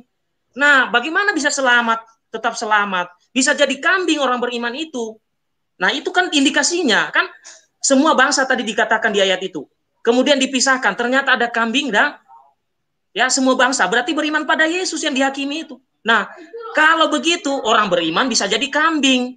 Berarti tidak tidak langsung masuk surga, tidak langsung selamat, tidak pasti selamat. Karena apa? Yang ditanya apa yang sudah kamu buat setelah kamu beriman? Apa bukti imanmu? Buktikan padaku imanmu dari perbuatanmu. Kalau tidak, berarti kamu imannya kosong. Kata Rasul Yakobus. Nah, itu artinya kalau di ubek-ubek ya. Matius 25 itu jelas di situ. Semuanya orang beriman dia beriman dihakimi, ya kan? Lalu ditemukan ada yang benar, ada yang jahat. Itu kan? Ditemukan ada yang benar, ada yang jahat. Nah, berarti orang beriman pun bisa jadi orang jahat. Jangan katakan tidak pernah berdosa, itu malaikat. Malaikat saja jatuh kok. Kok sombong sekali gitu loh. Nah, apakah sudah selesai waktu saya, Pak? Uh, Oke. Okay. Sudah, Pak. Oke, okay, ya. terima kasih untuk saudara Pak Gia. sekarang saya berikan kesempatan buat Pak Adama untuk apa, menyampaikan closing statementnya selama lima menit. Silakan Pak. Baik, Bapak Ibu, untuk mendapatkan keselamatan, Alkitab selalu mengatakan atau mencatat bahwa hanya dengan percaya kepada Dia. Dan Alkitab membantah seperti perbuatan dan kesalehan karena itu tidak akan pernah menyucikan kita. Titus pasal 3 ayat 5 diselamatkan bukan karena perbuatan. Jadi bagaimana saya supaya orang berdosa seperti saya ini diselamatkan? Caranya adalah Bapak Ibu percaya kepada Yesus yang telah datang, mengakui dia sebagai Tuhan dan Juru Selamat hidupnya. Ketika Anda sudah mengakui dia sebagai Tuhan dan Juru Selamat hidup Anda, Anda akan langsung dimeteraikan oleh Roh Kudus. Efesus pasal 1 ayat 13 bahwa di saat kamu percaya engkau dimeteraikan oleh Roh Kudus. Kalau Tuhan sudah memeteraikan kita melalui Roh Kudusnya, maka udah otomatis kita sudah milik Allah dan sudah pasti masuk surga. Tetapi kehidupan kita harus sesuai dengan perintah-perintahnya. Itulah iman murni. Iman kita itu iman sejati yang harus menghasilkan yang namanya perbuatan baik. Jadi tidak boleh dihilangkan perbuatan baik atau tidak boleh melakukan yang jahat ketika kita sudah beriman. Tapi harusnya orang beriman harus memperlihatkan imannya lewat perbuatan-perbuatan baiknya. Iman itu seperti akar dari pohon. Dan seiring dengan waktunya dia bertumbuh dan dia akan berbuah. Buah cabai tidak pernah ada di pohon rambutan. Buah terung tidak pernah ada di pohon cabai kecuali terung dicabein. Jadi saudaraku yang terkasih, bagaimana cara saya supaya saya mendapatkan keselamatan? Percaya kepada Sang Juru Selamat dan jangan pernah Anda berkata bahwa ketika saya percaya lalu hidup seenaknya, bisa melakukan kejahatan. No, itu Alkitab tidak pernah catat. Sehingga Yakobus menegur orang-orang Yahudi yang di perantauan yang mengaku punya iman tetapi tidak memperlihatkan iman lewat perbuatan. Paulus menekankan akar atau dasar dari keselamatan itu hanya melalui iman. Sudah banyak saya baca bacakan saya ayat-ayatnya seperti Galatia pasal 2 ayat 16. Jadi sebenarnya iman ita, iman orang Kristen yang sejati itu seperti itu. Jadi tidak ada plus-plusnya tidak ada tambah-tambahnya. Atau dibilang ya istilah yang halus per paket. Atau ada istilah yang lain eh, syarat-syarat uh, yang bisa ditiadakan dan yang bisa juga tidak ditiadakan. Itu tidak ada pengajaran yang Kristen yang murni. Jadi yang mengajarkan hal demikian adalah saya katakan itu di luar Kristen yang murni.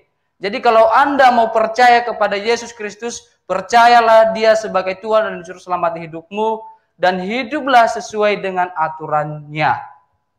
Simple, keselamatan di dalam kekristenan sebenarnya. Tetapi bukan berarti enak melakukan dosa. Tuhan tidak pernah mengajarkan untuk melakukan kejahatan, atau Tuhan tidak pernah mengajarkan kalau kamu sudah beriman cukup beriman aja, dan kalau kamu sudah cukup beriman ya beriman aja, gitu. Nggak usah berbuat baik. Itu kehidupan orang Kristen bukan seperti itu. Tetapi kehidupan selanjutnya harus memperlihatkan. Saya ulangi lagi, memperlihatkan lewat perbuatannya. Ini penekanannya. Jadi sebenarnya untuk memperoleh keselamatan tidak perlu perbuatan. Untuk memperoleh uh, jaminan keselamatan bukan dengan kebaikan, bukan dengan uh, baptisan, bukan dengan yang lainnya penghapusan dosa melalui surat, bukan. Atau melalui uh, omongan orang lain, ayo kamu mengaku dengan saya, lalu saya jadi imam, lalu saya doakan dosamu supaya dia pun Bukan lewat di situ. Jadi, kalau mau dosamu dihapuskan oleh Tuhan yang Maha Kuasa di dalam kekristenan, kamu harus percaya satu-satunya juru selamat dan satu-satunya syarat yaitu hanya percaya serta bertobat kepada Tuhan Yesus Kristus. Terima Oke. kasih. Terima kasih untuk narasumber saya pada kesempatan ini saya juga minta maaf jika ada kekurangan dan kesalahan saya selama kita tiga jam bersama-sama dan jika ada eh, perkataan yang berlebihan dimohon maaf juga dengan uh, sikap saya yang tidak baik, dimohon maaf. Dan terima kasih bagi semua para pendengar kami yang setia yang setia menyelesaikan sampai akhir dari diskusi ini. Semoga Bapak Ibu mendapatkan berkat dari diskusi ini baik dari saudara kita Pak DGA dari pihak Katolik dan juga dari uh, Bapak Damalaia dari pihak fundamental. Jadi kita diberikan hari ini pencerahan bagaimana kedua perbedaan ini uh, terus masih bergulir di dalam kekristenan uh, dan ada perbedaan paham tentang Alkitab meskipun kita memiliki satu kitab suci yang kita anggap sebagai kebenaran tetapi masih kita berbeda dalam memahami dan menafsirkannya tetapi bukan berarti ketika kita berbeda menafsirkan Alkitab, kita menjadi musuh antara satu dengan yang lain.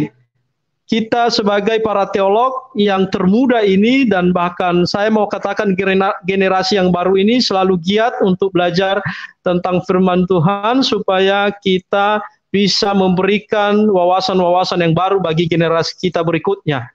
Oke, saya berterima kasih kepada narasumber Tuhan Yesus memberkati. Sebelum kita mengakhiri, saya akan berdoa untuk kita, untuk mengakhiri acara kita pada malam hari ini. Mari kita bersatu di dalam doa. Bapa kami yang di surga, kami bersyukur Tuhan atas berkat Tuhan yang Tuhan berikan kepada kami untuk berdiskusi tentang uh, teologi, soteriologi, bagaimana kami ya Tuhan me implikasikan setiap anugerah Tuhan yang Tuhan telah berikan kepada kami. Berkati para narasumber supaya mereka terus bergiat dalam melayani Tuhan. Hanya di dalam nama Tuhan Yesus Kristus kami berdoa dan kami serahkan juga di dalam tanganmu sekeluarga Pak Aris yang telah memfasilitasi kami dalam berdiskusi ini ya Tuhan. Biarlah berkat dan anugerah Tuhan engkau turunkan atas keluarga Pak Aris dan anak-anaknya. Dan biarlah semuanya terjadi atas kehendak Tuhan. Segala hormat dan kemuliaan kami serahkan di dalam tangan Tuhan, pendengar kami yang saat ini baik yang di Zoom maupun yang ada di uh, yang nonton di YouTube Tuhan berkati di mana pun mereka berada. Di dalam nama Tuhan Yesus Kristus kami berdoa dan mengucap syukur. Amin. Oke. Okay. Terima kasih.